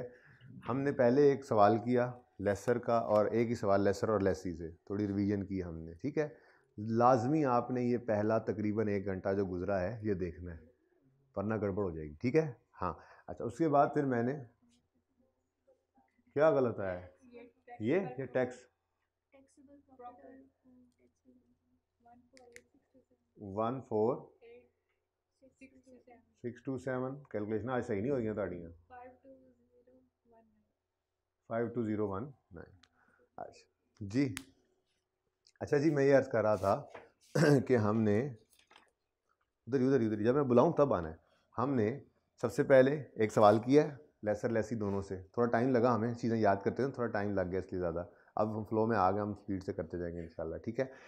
दूसरा हमने ये काम किया, थोड़ी सी रिवीजन वगैरह की ना आई एफ़ आर एस सोलह की सब सब बहुत पुराना फ़सल में पड़ा हुआ। उसके बाद आज हमने स्टार्ट क्या किया है, नया काम क्या कर रहे हैं लेसर को आई एस ट्वेल्व के साथ मिक्स कर रहे हैं लेसर की लीज लेसर की अकाउंटिंग को। तो मैंने आपसे ये कहा, यहाँ पे बच्चों से, कि लेसर टैक्स वाले लेसी को क्या कहते थे? कि लेसी हम हाँ हम क्या करते थे? इंटरेस्ट इंटरेस्ट एक्सपेंस और डेप्रेशन बुक करते थे। टैक्स वाले कहते थे, ये क्या इंटरेस्ट एक्सपेंस और ये डेप्रेशन कहाँ से आ गई? रिवर्स करो, तुम्हें रेंट रेंट तुम्हारा पीएनएल है। ये टैक्स वाले लेसी को कह रहे हैं कि तुम्हारे पीएनएल में रेंटल पेड होना चाहिए। ये अलाउ करेंगे। और तुम्हारा कोई एसिड वैसिड कोई नहीं है, उसके नाम है लेसर के। ठीक है ना? और टैक्स वाले लेसर को क्या कहते हैं? हम क्या करते थे? फाइनेंस लीज में। फाइनेंस लीज में हम क्या करते थे? फाइनेंस लीज में हम क्या करते थे? हम एसिड किताबों से निकाल लेते थे लीज सिविल डेबिट और एसिड क्रेडिट कर देते थे, फिर इंटरेस्ट इनकम बुक करते थे। डेप्शन नहीं आती थी। टैक्स वाले कहते हैं, ये क्या होता है? इंटरेस्ट इनकम चलो रिवर्स करो। तुम्हें रेंट जो रिसीव हुआ, ये तुम्हारा इनकम है तुम्हारी और तुम्हारा एसेट है, इसकी डेप्शन तुम्हें अलाउ करेंगे, ये तुम्हारा लीज रिसीवल क्या होता है? ये तुम्हारा पीपी ये तुम्हारे नाम है। तुमने किराए पे दिया हुआ है। तो रेंट रिसीव्ड पीएनएल में इनकम और डेप्शन पीएनएल के अंदर एक्सपेंस ठीक है? रेंट रिसीव्ड ये रेंट पेड एक्सपेंस कहते हैं इसको। इधर। यहाँ पे इसको रेंट रिसीव्ड इनकम कहकर डेप्रिसिएशन एक्सपेंस ये अलाउ करते हैं और पीपीई कहते हैं तुम्हारा है ठीक है ना? अब फिर यही सवाल में हमने किया भी। एक सवाल सादा सा है ठीक है? ये कौन सा क्वेश्चन है जी? Question number question number one page number seven forty nine पर आ, इसमें हमने क्या किया जी? लेसर को आई एस ट्वेल्व के साथ मिक्स किया ठीक है? तो एक सादा सा सवाल था इसके अंदर हमने ये अकाउंटिंग की ये प्रेजेंट वैल्यू नेट इन्वेस्टमेंट आई, जिसकी अब एंट्रीज मांगी हुई है तो पहली एंट्री हम इसकी करते होते थे, जी lease receivable debit asset credit कोई आईडीसी वगैरह कुछ भी नहीं है, ठीक है ना? Lease receivable debit asset credit three seven nine zero eight उसके बाद, ये पहली एंट्री उसके बाद cash debit lease receivable credit interest income credit ठीक है? और बैलेंस शीट के अंदर लाइन लगाकर ये करंट और ये नॉन करंट में शो कर देते थे। बस, ये हमारी अकाउंटिंग थी, ठीक है? अब टैक्स वाले आए तो टैक्स वालों ने कहा, ये ऐसे पक्के असूल हैं, लेकिन टैक्स वालों ने क्या कहा है? वो कहता है टैक्स वाले tax authorities allow grant twenty percent allow ऐसे तो ये लिखा हुआ है, आगे कहता है tax rate applicable to company is this and this आगे कुछ नहीं बोला हुआ, पक्का असूल है, लीज का जैसे लेसी के सवालों में था टैक्स वाले जो जो असूल मैंने बता दिया वही है, ठीक है? अब टैक्स वाले आगे क्या कहेंगे, ये इंटरेस्ट इनकम क्या होती है? इसको रिवर्स करो, हमने ये ब्लैक रिवर्स कर दिया. और उन्होंने कहा, ये लीज रिसीवेबल क्या होता है हमारी बैलेंस शीट में पड़ा हुआ? उन्होंने कहा, जी, वो lease I F R S I F R S कुछ भी नहीं है ठीक है? समझ आती है बात? फिर वो कहते हैं तुम्हें हम बताते हैं क्या अकाउंटिंग होती है? ये तुम्हारा एसेट है पी पी ई सैंतीस नौ सौ आठ फेयर वैल्यू सवाल में गिवन है, ठीक है? इसको बीस परसेंट के हिसाब से डेप्रिसिएशन अलाउ करूँगा तुम्हें, और इसकी बुक वैल्यू है। हम कह रहे हैं, नहीं है। वो कह रहा है, ये फ़र्क है। ठीक है ना? और अगली बात जो तुमने रेंट रिसीव किया है, वो तुम्हारी इनकम है। तो यहाँ से हमारे पास करंट टैक्स आ गया और ये डेफर टैक्स इस क्लोजिंग को यहाँ लिखा तो बैलेंसिंग आ गया। अब उस सवाल में उसने एंट्रीज मांगी थी। सवाल में एंट्रीज क्या करेंगे? नंबर वन टिक करते जाओ ज़रा सोल्यूशन से देखकर। टिक करते जाओ, लेकिन पहले मैं एंट्री बोलूँ, फिर टिक करना, ठीक है? पहले मैं एंट्री बोलूँ, फिर टिक करना। जी नंबर वन आप बल्कि बोलते रहे साथ साथ lease receivable debit asset credit three seven nine zero eight cash debit दस हज़ार lease receivable credit six two zero nine interest income credit three seven nine one ठीक है? ये लीज की एंट्रीज हो गई जनरल एंट्रीज हो गई। एक्स टैक्स बनाने हो तो बन सकते हैं। अब टैक्स की कैलकुलेशन करनी थी। ये जो आखिरी लाइनें दो लिखी होती हैं ना टैक्स रेट कितना है डेप्रिसिएशन का प्रॉफिट हमारा इतना है tax rate thirty five percent लग रहा है। ये जब आ जाता है ये असल में एफ़ टू में यही तो आने लग गया हर सवाल हर सवाल के अंदर। ये जब आ जाता है तो आई एस ट्वेल्व आ जाता है बीच में। अब जब हमने करंट टैक्स की कैलकुलेशन की तो हमारा करंट टैक्स निकला five two zero one nine इसकी एंट्री करेंगे C T E debit C T P credit और फिर डेफर टैक्स की एंट्री करेंगे defer tax liability credit D T E debit D T L slash A credit ठीक है? जी question वैसे आपका बनता तो नहीं है, लेकिन क्वेश्चन हो गया. ठीक है? चलें जी. अब इससे अगला सवाल जो है, ये ये सेम यही सवाल है, लेकिन इसमें बस हमने क्या करना है?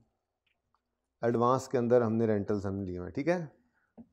Lease was signed on Yakam January for five year annual rental payable and beginning of year were agreed at बारह अट्ठतीस यार ये चार चार यूजफुल लाइफ पाँच साल है इंटरेस्ट रेट इम्प्लिसिट बारह है फेयर वैल्यू ऑफ़ इक्विपमेंट पाँच हज़ार है। Lessor accounting profit before tax इतना है tax rate applicable to company इतना है टैक्स और depreciates such as statement over their useful life सारा सवाल सिंपल है। अब सादा बात है यूजफुल लाइफ कितनी है? पाँच साल और लीज टर्म भी कितनी है? लीज टर्म भी कितनी है? पाँच साल। तो यहीं से पता लग गया कि ये फाइनेंस लीज है। मेरे वाले सवाल में तो बताया हुआ था ना? इसमें नहीं बताया हुआ। और ये सवाल एडवांस भी है। Annual rental payable at beginning of the year तो बस इतना सा फ़र्क है। सारा कुछ ऐसे ही होना है तो ये आपका होमवर्क होगा। ठीक है? थर्ड पे आए। ऑपरेटिंग लीज में ज़्यादा मुसीबत पड़ती है। क्योंकि टैक्स वाले यही कह रहे हैं। टैक्स वालों टैक्स वालों की ना, बस एक ही छड़ी है जिससे वो हाँकते हैं लेसर को। उनको क्या पता फाइनेंस और ऑपरेटिंग क्या होती है? वो बस इसी पे अड़े हुए हैं। तुमने जो रेंट रिसीव किया तुमने रेंट रिसीव किया, तुम्हारी इनकम तुम्हारा एसेट है, हमारे रेट के हिसाब से उसकी डेप्रिसिएशन और ऑपरेटिंग लीज में जब आते हैं ना तो लेसर ऑपरेटिंग लीज में इंटरेस्ट इनकम बुक नहीं करता एसेट अपने पास ही रखता है। वो भी rent receive rental income book करता है, वो भी रेंटल इनकम बुक करता है, और डेप्रीसिएशन एक्सपेंस भी बुक करता है। ठीक है ना? अब टैक्स वाले क्या कहेंगे? अब याद करो ऑपरेटिंग लीज के अंदर क्या करते थे? स्ट्रेट लाइन के ऊपर रेंटल इनकम निकालते थे। आया, कमाया घिस आया अब हम स्ट्रेट लाइन के ऊपर इनकम रिकॉर्ड कर रहे हैं। और टैक्स वाले क्या कहेंगे? नहीं नहीं नहीं, जो तुम्हें रिसीव हो रहा है वो इनकम है। तो फ़र्क तो यहाँ पे भी आ गया। अब सोचो ना अकाउंटिंग मैंने क्या कहा? टैक्स वाले लेसर लेसी को इस छड़ी से हाँकते हैं। या तो सारा कुछ रिवर्स करा के रेंटल पेड जो होता था इंस्टॉलमेंट पेड को माइनस करवाते थे और कैरिंग अमाउंट हमारी सारी होती थी टैक्स पे, सारी लैन में सिफर लैनो लैन सिफर हो जाता था। याद है? तो टैक्स वाले लेसी को जो सी मर्ज़ी लीज हो, इसी इसी छड़ी से हाँकते हैं। इसी तरह से लेसर को इसी छड़ी से हाँकते हैं। ठीक है? वो कहते हैं, तुम्हारी इनकम है, तुम्हारा रेंट रिसीव और हमारे रेट के हिसाब से डेप्शन पीपी में तो ये फ़र्क होता था, उनके रेट डिफरेंट हमारे डिफरेंट अब जब हम ऑपरेटिंग लीज में आएँगे, हम लेसर है। तो हमने स्टेट लाइन पर इनकम बुक की होगी आया कमाया किस आया वाले हिसाब से याद है? और हमारी किताबों में वो प्री पेड बल्कि इन, इनकम है इनकम है। तो अनअर्नड या एक्रूड रिसीवल या अनअर्नड इनकम आ रही होगी। बोलो? अब टैक्स वाले कहेंगे भाईजान ये क्या होता है? स्ट्रेट लाइन पर इनकम आ रही है। जो आया वो तुम्हारी इनकम है। तो हमारे वाली इनकम उल्टा देंगे वो।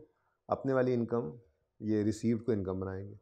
फिर हमारे डेप्शन रेट डिफरेंट हो सकते हैं, उनके डिफरेंट हो सकते हैं। तो हमारे डेप्रिसिएशन एक्सपेंस को उल्टा देंगे, अपने वाले को अलाउ कर देंगे। फिर हमारा पीपी कैरिंग अमाउंट डिफरेंट होगा, उनका टैक्स बेस डिफरेंट होगा। लेकिन होना दोनों ने ही क्या है पी दोनों ने ही पीपीई कहा हुआ ना टैक्स वाले तो पहले ही पीपीई कहते थे, हमने भी पीपीई कहा हुआ है। बस फ़र्क ये है कि हम इनकम रिकॉर्ड करते हैं, अपनी तरतीब से। और वो कहते हैं, जो रिसीव हुआ है, वही इनकम है। जैसे एक्रूवल के अंदर होता था, हम इनकम बुक करते थे एक्रूवल बेसिस वो कहते नहीं, जो रिसीव हुआ है, वो इनकम है। एक्सपेंस बुक करते थे एक्रूवल बेसिस वो कहते नहीं, जो पे हुआ वो एक्सपेंस है। ये ऐसे ही चक्कर है बस थोड़ा सा ठीक है? अब question number three X Y Z limited entered into an operating lease इसके अलावा इतनी लेंथी काम और कोई भी नहीं है। इतना लेंथी काम और कोई भी नहीं है आज हमारा। सिर्फ़ यही आई एफ़ सोलह के अंदर कुछ पेंडेंसीज आर लेंथी काम था। X Y Z limited entered into an operating lease with A B C limited on जकम July तीन. A B C limited agreed to lease a plant from X Y Z which had cost X Y Z एक पंद्रह lakh on first जुलाई दो हज़ार तीन. ठीक है जी? अब यकम जुलाई 2003 पर इन्होंने ये ख़रीदा है. डेट गिवन है? नहीं, ये तो एंटर किया लीज़ के ऊपर. लीज़ पर ये यकम जुलाई तीन को दिया है. अच्छा यकम जुलाई तीन को लीज़ पर भी दे दिया और यकम जुलाई तीन को ही ख़रीदा भी था. ठीक है जी?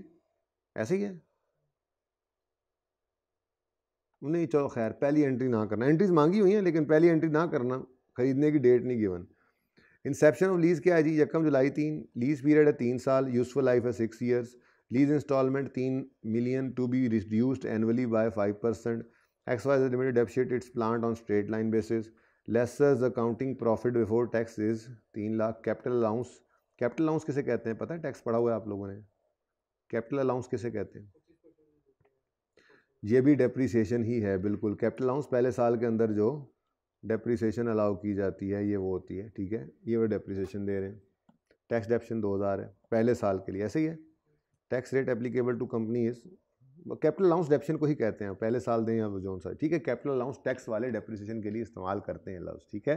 कभी आ जाए तो। अच्छा अब सबसे पहले तो ये डिसाइड कर लें।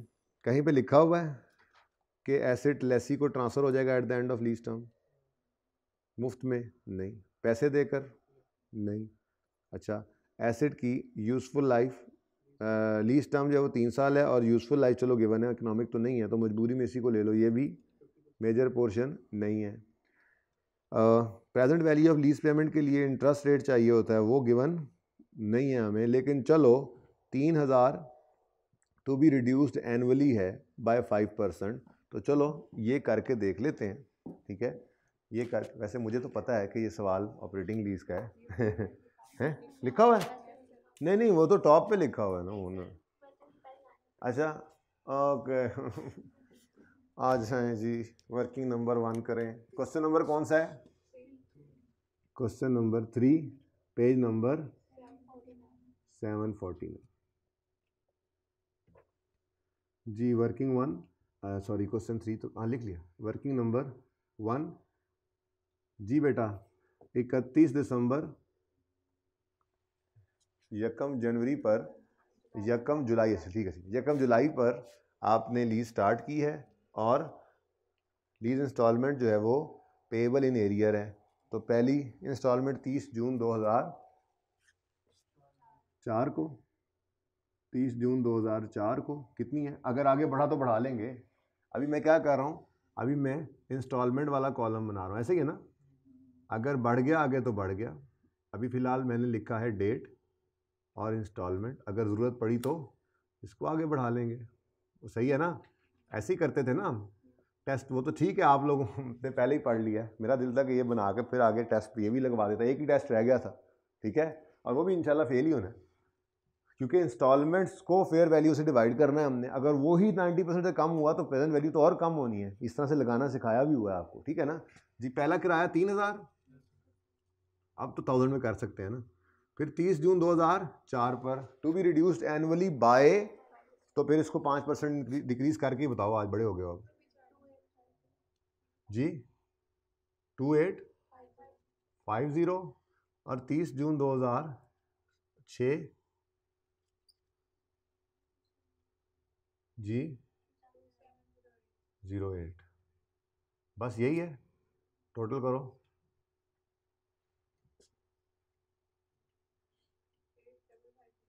एट डबल फाइव एट आ गया और रेंटल इनकम स्ट्रेट लाइन पर निकालने के लिए एट डबल फाइव एट को डिवाइड कर देंगे थ्री इयर्स के साथ। जी answer is ji two eight five three per year straight line के ऊपर ये इनकम हम रिकॉर्ड किया करते थे, ठीक है ना? टैक्स वालों को इसी से तकलीफ़ होनी, उन्होंने कहना है, ये कौन सी इनकम है? जो तुम्हें पैसे आए हैं, बस वही तुम्हारी इनकम है। बात समझ आ रही है? अब अगला काम क्या करना है हमने? वर्किंग वन तो हो गई। वर्किंग टू क्या करेंगे जी? करंट क्योंकि उसने जनरल एंट्रीज मांगी है ना ठीक है? आया कमाया घिसाया वाली एंट्रीज भी इंशाल्लाह आप करोगे। और उसके बाद आप ये करंट टैक्स और डेफर टैक्स की भी वर्किंग आप करके फिगर निकालोगे तभी आगे जा सकते हो। तो करंट टैक्स की कैलकुलेशन में मैं अगेन उसने दो साल की एंट्रीज मांगी होंगी इनशाला एक ही है? ओ oh, नो चलो कोई बात नहीं क्या हो सकता है अब क्या हो सकता है? जी, दो हज़ार? चार है? ओ, ये अच्छा मौका है। चेक हम जुलाई? अच्छा अच्छा वो अच्छा मौका कहाँ है? साल ही एक यार। तो दो हज़ार? चार पे ईयर एंड हो रहा है। मैं खुश हो गया। मैंने कहा, चलो, एक साल मैं इस, वो वाला नहीं बनाता, जो मांगा हुआ उसके अलावा बनाता हूँ। दो हज़ार? चार का साल है। पीबीटी सवाल के अंदर गिवन है? पीबीटी सवाल में गिवन होगा? Lessee's accounting profit before tax is three million ये पीबीटी तो है। तीन हज़ार क्या आ गया जी?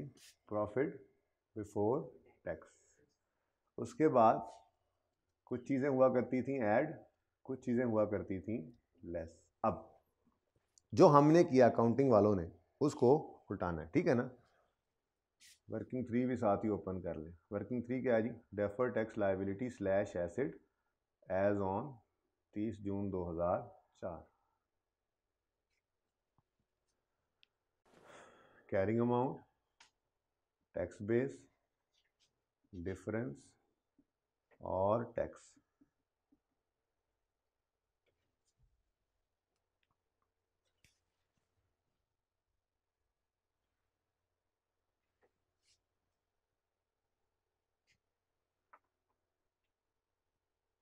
जी बच्चों शुरू करें काम। जी, हमने जो पीपीई रिकॉर्ड किया होगा, बिल्कुल वो पीपीई हमने पंद्रह लाख पे ही रिकॉर्ड किया होगा। लेकिन उसको हम डेप्रीशिएट करेंगे उसकी यूज़फुल लाइफ छः साल पर। ऐसे ही है। अब बोलो, अब ये जो हमने कर रखा है टैक्स वालों ने कहना है बाईजन इसको उल्टाएँ।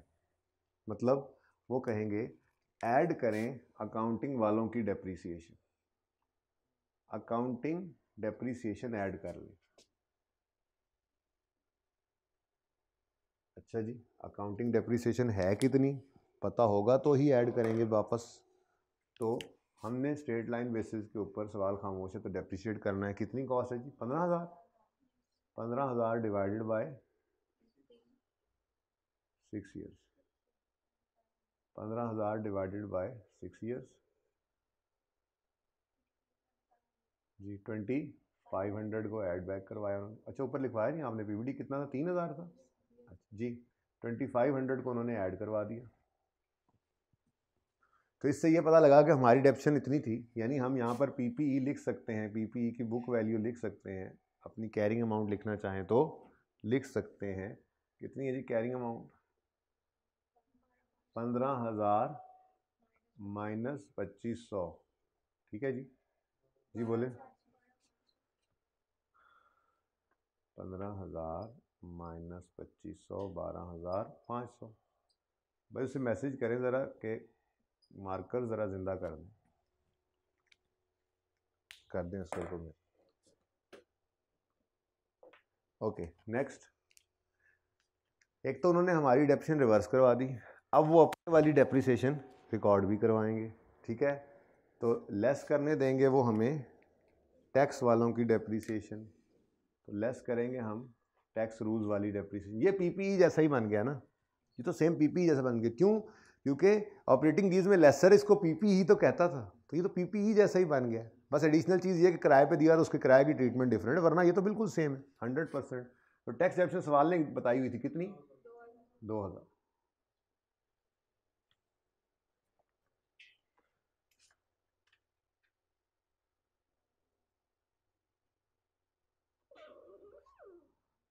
थोड़ा सा जगह रख लेते हैं। टैक्स डेप्रिसिएशन जी लेस कर दें हमें अलाउ करेंगे वो लेस करने के लिए क्या चीज़? टैक्स डेप्रिसिएशन 2000 इससे ये पता लगा कि टैक्स बेस अब डिफरेंट होगी। यानी कि वही पीपीई है, पंद्रह हज़ार वाला, लेकिन उसके अंदर से माइनस क्या होगा जी? दो हज़ार की टैक्स डेप्रिसिएशन और उसकी टैक्स बेस नज़र आएगी हमें तेरह हज़ार। ये रेड मैंने टैक्स वाला काम किया हुआ। ठीक है? ले अब ये तो बिल्कुल पीपीई वाला काम हुआ। ऐसे ही है ना? जैसे पीपीई आई सोलह वाला हम करते थे। ओके?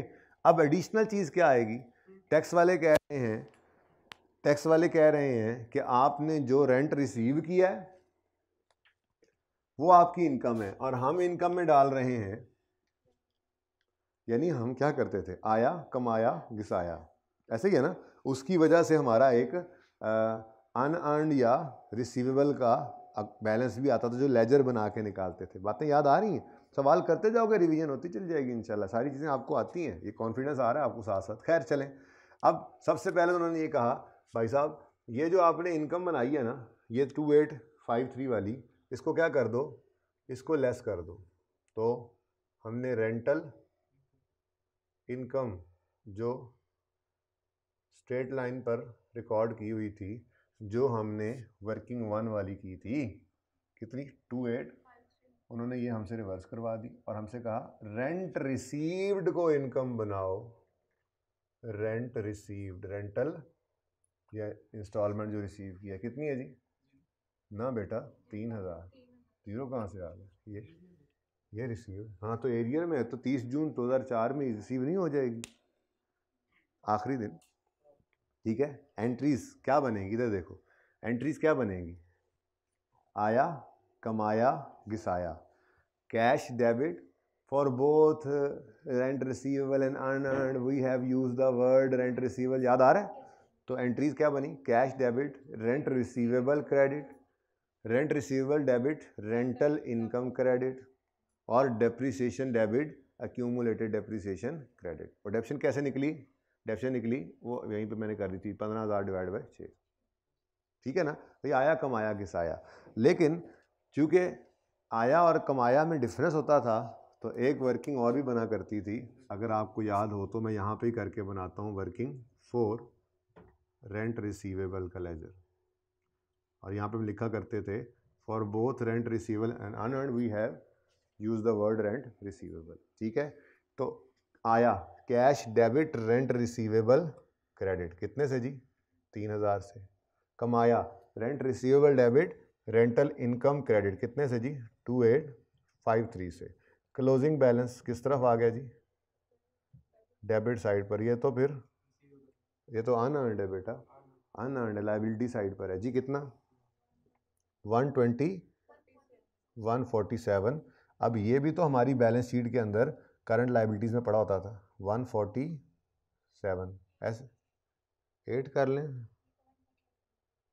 तो ये भी तो थ्री लिखा हुआ है ना। सही तो है। कोई बात नहीं बेटा बैलेंस हो गया। ठीक है? जी। अब ये भी एक चीज़ है। क्या?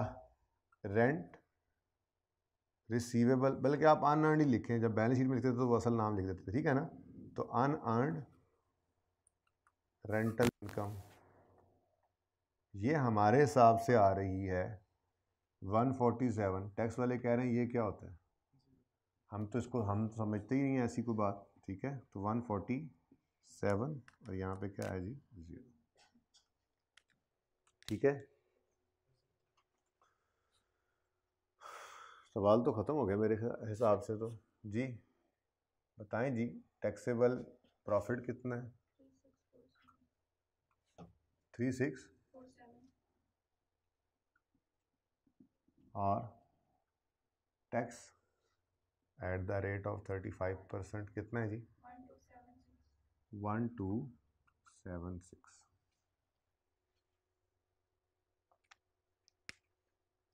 जी डिफरेंस पाँच सौ का। कैरिंग अमाउंट कम है टैक्स बेस से तो deductible temporary difference difference one forty seven liability की कैरिंग अमाउंट ज़्यादा है टैक्स बेस से तो डिडक्टेबल होगा। ऐसा ही है। दोनों डिडक्टेबल है। टोटल करो। इस पे थर्टी फाइव परसेंट लगाओ। Two twenty defer tax asset आ गया। Working number five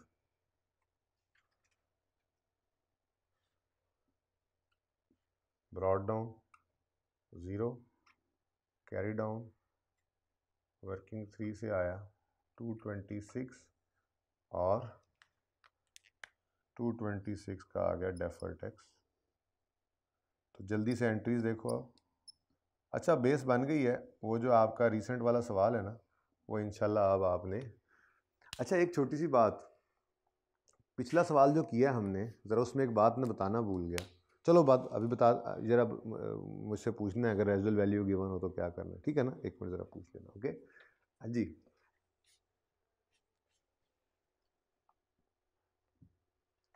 जी बच्चों, अब ज़रा सोल्यूशन में एंट्रीज चेक करो। सवाल ने कहा जर्नल एंट्रीज मांगनी है। देखो, ये सारा काम हम सिर्फ़ टैक्स की दो एंट्रीज करने के लिए करते हैं। ये सारा काम वर्किंग टू वर्किंग थ्री और वर्किंग फाइव अकाउंटिंग ये नहीं होती।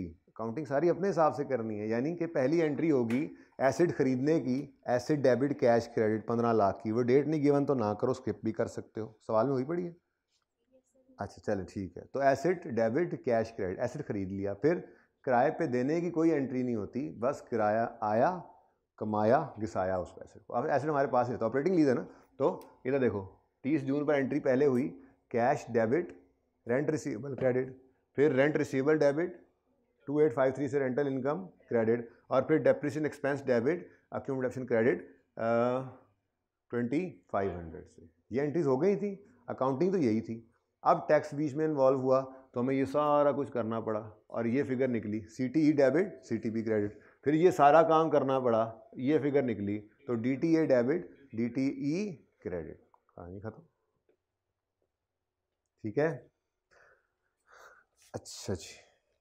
अच्छा वो पिछला सवाल किस पे था? पेज नंबर 160 ये समझ आ गई है बात की? ज़रा एक मिनट, एक चीज़ जहन में आ गई है। मुझे भूल ना जाए। 167 था ना? लसानी वाला। 182 था। ओ माय गॉड 167 पे क्या है? फिर मुझे जहन में क्यों चल रहा है वो? और यार वो तो अलग था ना ये, यहाँ। अच्छा अब देखो। लेसी के सवाल में आपने डेप्रिसिएशन निकाली थी, बोलो। बोलो। डेप्रिसिएशन निकाली थी आपने? कैसे निकाली थी, ज़रा बताना दोबारा। राइट ऑफ़ यूज़ जो सब कुछ भी आया था, कितना आया था टोटल सब कुछ जो टोटल आया था वर्किंग की थी अलग से। राइट ऑफ़ यूज़ में प्रेजेंट वैल्यू लीज पेमेंट की डाली थी प्रेजेंट वैल्यू डी डीकमीशनिंग की डाली थी। कितनी फिगर आई थी? सेवन सिक्सटी टू इसको आपने किससे डिवाइड किया था? अच्छा अब इस सवाल के अंदर क्या था? इस सवाल के अंदर क्या था कि G R V expected to be paid कितनी थी?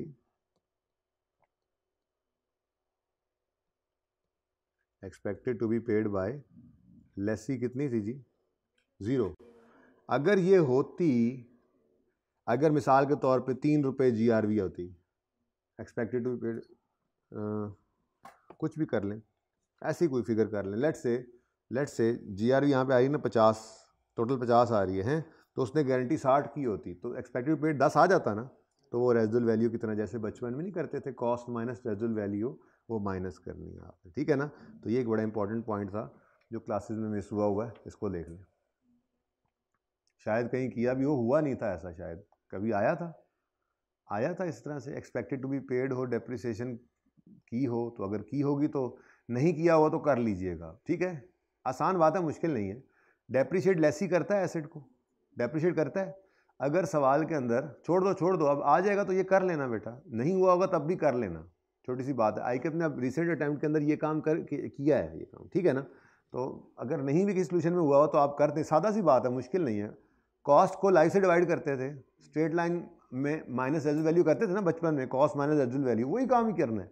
लेकिन कब करना है? लेसी के सवाल में जब एक्सपेक्टेड टू बी पेड कोई चीज़ होगी तो। जीआरवी है ही नहीं। यू जी तो इधर आती नहीं ना लेसी के सवाल में। सिर्फ़ क्या आ सकता है? जीआरवी सिर्फ़ क्या आ सकता है? जी आर यहाँ तक को मसला। लेकिन अगर लेसर का सवाल हो, वो तो वैसे ही सिंपल है। अगर लेसर की फाइनेंस लीज है तो उसने तो वैसे ही किताबों से निकाल देना है। वो डेप्रिशिएट करता ही नहीं है। करता ही कौन है? ये।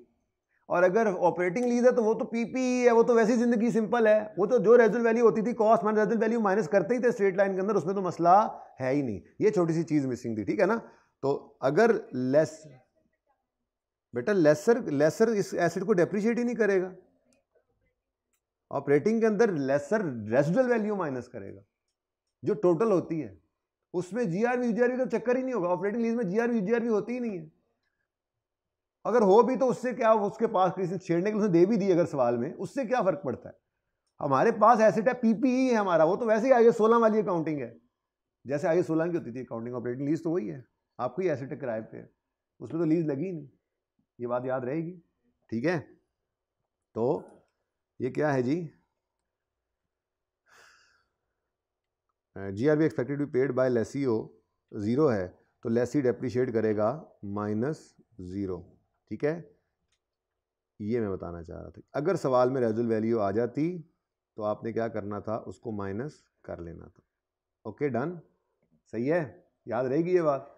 ये मैंने इसलिए फ़ौरन हर चीज़ रोक कर मैं इधर आया हूँ, मुझे भूल जानी थी वरना। अच्छा जी, कहाँ पे थे हम? अच्छे भले हम। कौन से सफ़े पे थे? ये अलग से जो I F R S sixteen with डेढ़ घंटे का हो गया, बस ख़त्म कर रहे हैं। बस ये क्वेश्चन नंबर फोर रह गया जी। फटाफट इसको कर दें। क्वेश्चन फोर भाई क्वेश्चन क्वेश्चन थ्री मैंने करवा दिया है। क्वेश्चन नंबर फोर देखें। लो वैल्यू और शॉर्ट टर्म इसकी भी मिक्सिंग आई एस ट्वेल्व के साथ में होना रह गई थी। सिर्फ़ असल में आई सवाल लेसी के हुए हैं। एक आधा सवाल ये, शायद रिसेंट वाला ये लेसर का। और लो वैल्यू का बिल्कुल नहीं है अभी तक तो ये भी देख लें, ठीक है? अच्छा Moment Limited obtained a lease on lap a lease on laptop Moment Limited obtained on lease a laptop from X Y Z on यकम जुलाई तीन on following terms lease period तीन साल विद इंस्टॉलमेंट ऑफ़ तीन हज़ार in arrear with five percent annual reduction lessee profit before tax is चालीस हज़ार. Tax rate is पैंतीस. जैसे ये लाइनें I I S twelve activate हो गया। अब मामला क्या है? मामला वही है। टैक्स वालों ने क्या कहना है? ये सब चुप है इसके केस में, लेकिन आपको पता है टैक्स वाले हमेशा सारी लीज के अंदर रेंटल को ही मानते हैं। रिसीव करने वाले कहते हैं, तुम्हारी इनकम है पे करने वाले कहते हैं, तुम्हारा एक्सपेंस उसके अलावा कुछ उन्हें समझ ही नहीं आती। कुछ समझ ही नहीं आती। और एसेट किसका है? लेसर का है। हर केस में ही लेसर का है।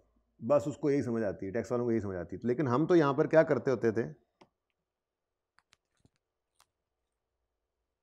ना करो यार ऐसे।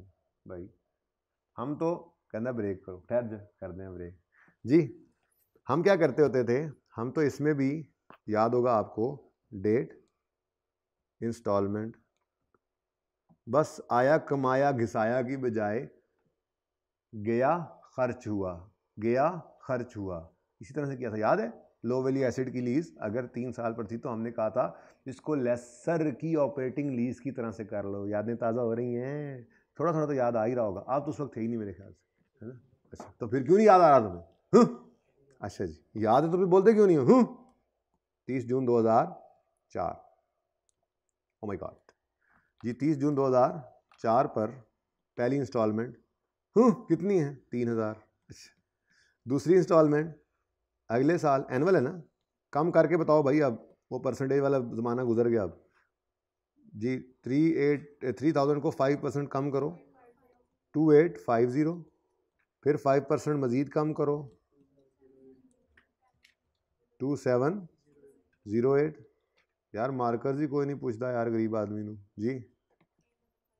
एट डबल फाइव एट बेरुखियाँ यार, असगर, तुम्हारी बेरुखियाँ जो है ना आजकल, बस दिल तोड़ देती हैं अब मेरा तो।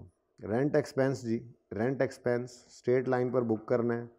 स्ट्रेट लाइन पर रेंट एक्सपेंस बुक करते थे और लेक्चर नोट्स वॉल्यूम वन को मिटाकर हम यहाँ पे लिखते थे। Eight double five eight divided by three कितना आया? टू एट फाइव थ्री जी बेटा अब एंट्री क्या होती थी? ये एसिड लीज पर लिया है तो कोई right of use lease liability की अकाउंटिंग नहीं करते थे। हम क्या, मैंने कहा था, खामोश हो तो बस, आपने क्या करना है? गया खर्च हुआ, गया खर्च हुआ। मार्कर हो गया ताज़ा भाई मार्कर अच्छा गया खर्च हुआ। तो पहली एंट्री इन्होंने की होगी ये rent expense debit cash credit और फिर सॉरी सॉरी सॉरी ये ये तो खर्च, ये खर्च हुआ खर्च हुआ अच्छा पहले गए कि ठीक है, जी कैश डेबिट लेकिन लेकिन लेकिन, एक एक जुमला फॉर बोथ अब यहाँ पे प्री पेड और पेएबल होना है। For both rent prepaid and payable we have use the word rent payable rent payable ऐसे ही बोला था ना, ठीक है? अब इसकी एंट्री क्या होगी? कैश गया है तो rent rent payable debit cash credit और rent expense debit rent payable credit tax वालों ने आगे क्या कहना है? वर्किंग नंबर ये भी बना लें, चले साथ ही। वर्किंग नंबर टू, ये हम किया करते थे। For both rent receivable for both rent payable and unearned and prepaid we have use the word rent payable और इसके अंदर हम एंट्री यूँ करते थे जी कैश गया तो कैश क्रेडिट तो entry rent payable debit cash credit तीन हज़ार और फिर एक्सपेंस रिकॉर्ड किया तो रेंट एक्सपेंस डेबिट ये ज़रा प्रैक्टिस कम थी ना इसकी। एक आधा सवाल ऐसे एक दो, वो लैपटॉप वाला सवाल ही किया था हमने, टू एट, फाइव थ्री तो इसलिए थोड़ा सा ये फंस जाता है। लेकिन कोई नहीं थोड़ा सा सोच के करेंगे तो ये हो जाएगा। ये उतने फ्लो में नहीं होता जैसे वो हो जाता था, लेकिन हो जाता है थोड़ा सा सोच के करें तो जी, क्लोजिंग आ गया। ये तो प्रीपेड वाली साइड पे आ गया, यानी एसिड, है ना? कितना? One forty seven. अब टैक्स वाले आगे बढ़े और आगे बढ़ के कहने लगे, एक्सक्यूज़ मी, ये क्या है? ये टू एट फाइव थ्री क्या है? हमने कहा जी, पहले आप बताएँ पीबीटी कितना है हमारा, आपको पता है? उन्होंने कहा हाँ चार हज़ार। ने कहा अच्छा अब बताते हैं। ये हमारा रेंट एक्सपेंस है। कहा रेंट एक्सपेंस प्रॉफिट तक आते आते जो लेस किया है, इसको ऐड बैक करो। ये कौन सा एक्सपेंस है? तुम्हारा तो तीन हज़ार रुपया आया है खर्चा। तुमने तो तीन हज़ार पे किया है। झूठ बोलते हो? Two eight five three sorry जी, झूठ बोलते हो? तुम्हारा तो खर्चा ये है ही नहीं। ऐड बैक करो। जो खर्चा है वो लो। हमने कहा अच्छा यार, नाराज़ क्यों होते हो? लेस क्या कर लें? देखा यही रेंटल पेड रेंट पेड तीन हज़ार का। ये तुम्हारा खर्चा। एक जैसी तरतीब है ना? बोलो। तो लें जी। क्या आता है आंसर? उससे टैक्स निकल आएगा। इन निकल आएगा। ठीक है? आगे चलो। अगली चीज़ क्या होगी जी? Defer tax liability slash asset as on यहाँ पे तो कुछ भी नहीं आना। है ना? क्यों? क्यों आना है? क्यों आना है? हाँ जी, हमारी मुसीबत स्ट्रेट लाइन वाली और वो तो इस चीज़ को मान नहीं रहे हैं तो उनके पास ऐसी कोई चीज़ नहीं है जिसका नाम प्री पेड रेंट हो। कितना? तो कैरिंग अमाउंट है और टैक्स बेस ज़ीरो है। तो इन आप इसको पूरा कर लेंगे, ठीक है? ओके डन कंप्लीट कीजिएगा इसको। अच्छा अब ये तीन सवाल हो गए और चौथा सवाल इसके साथ अब आपने घर पे करना है।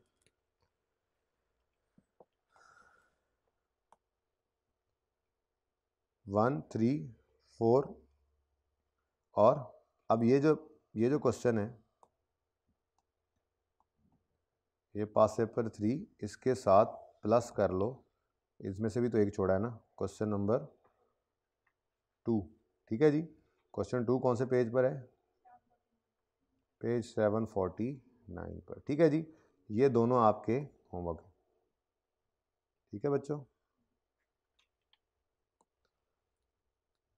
लेकिन इसके अंदर ठहरो, एक और चीज़ ऐड कर लो, वो भी होमवर्क बन जाएगा, वो सवाल गालिबन किया हुआ है। लेकिन ना मैं उसको साथ में ऐड करवा रहा हूँ आपके। एक मिनट में कहीं पे लिख के लाया था। या इसके साथ और कौन सा सवाल ऐड हो जाए। क्वेश्चन वन हो गया टू होमवर्क हो गया थ्री हो गया फोर हो गया नंबर लीजिंग आपका होमवर्क है और past paper A I S twelve वाला। ज़रा ओपन करके देखें। Past paper A I S twelve वाला।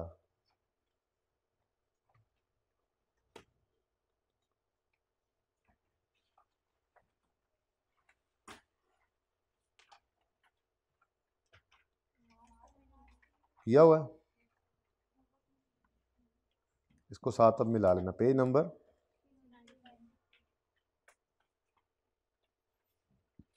Three ninety three. ठीक है जी। ओ ओ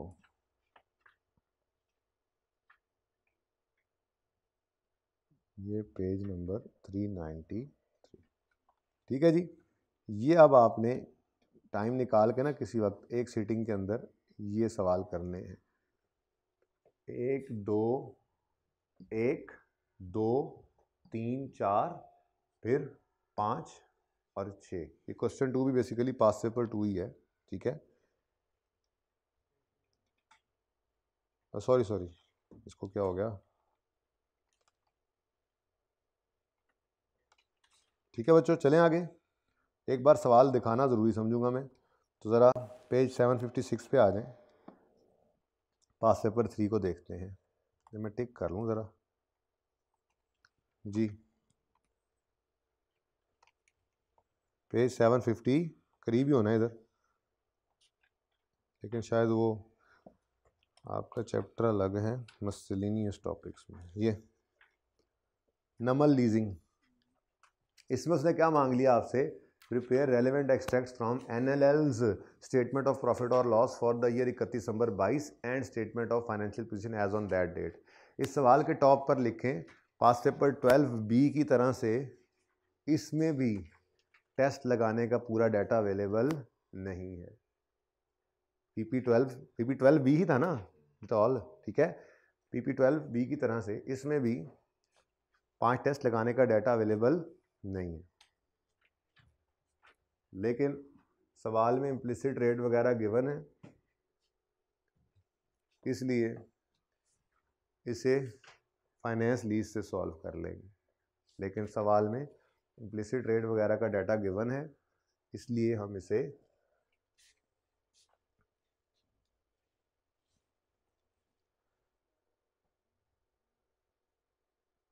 फाइनेंस लीज से सॉल्व करेंगे। ठीक है जी?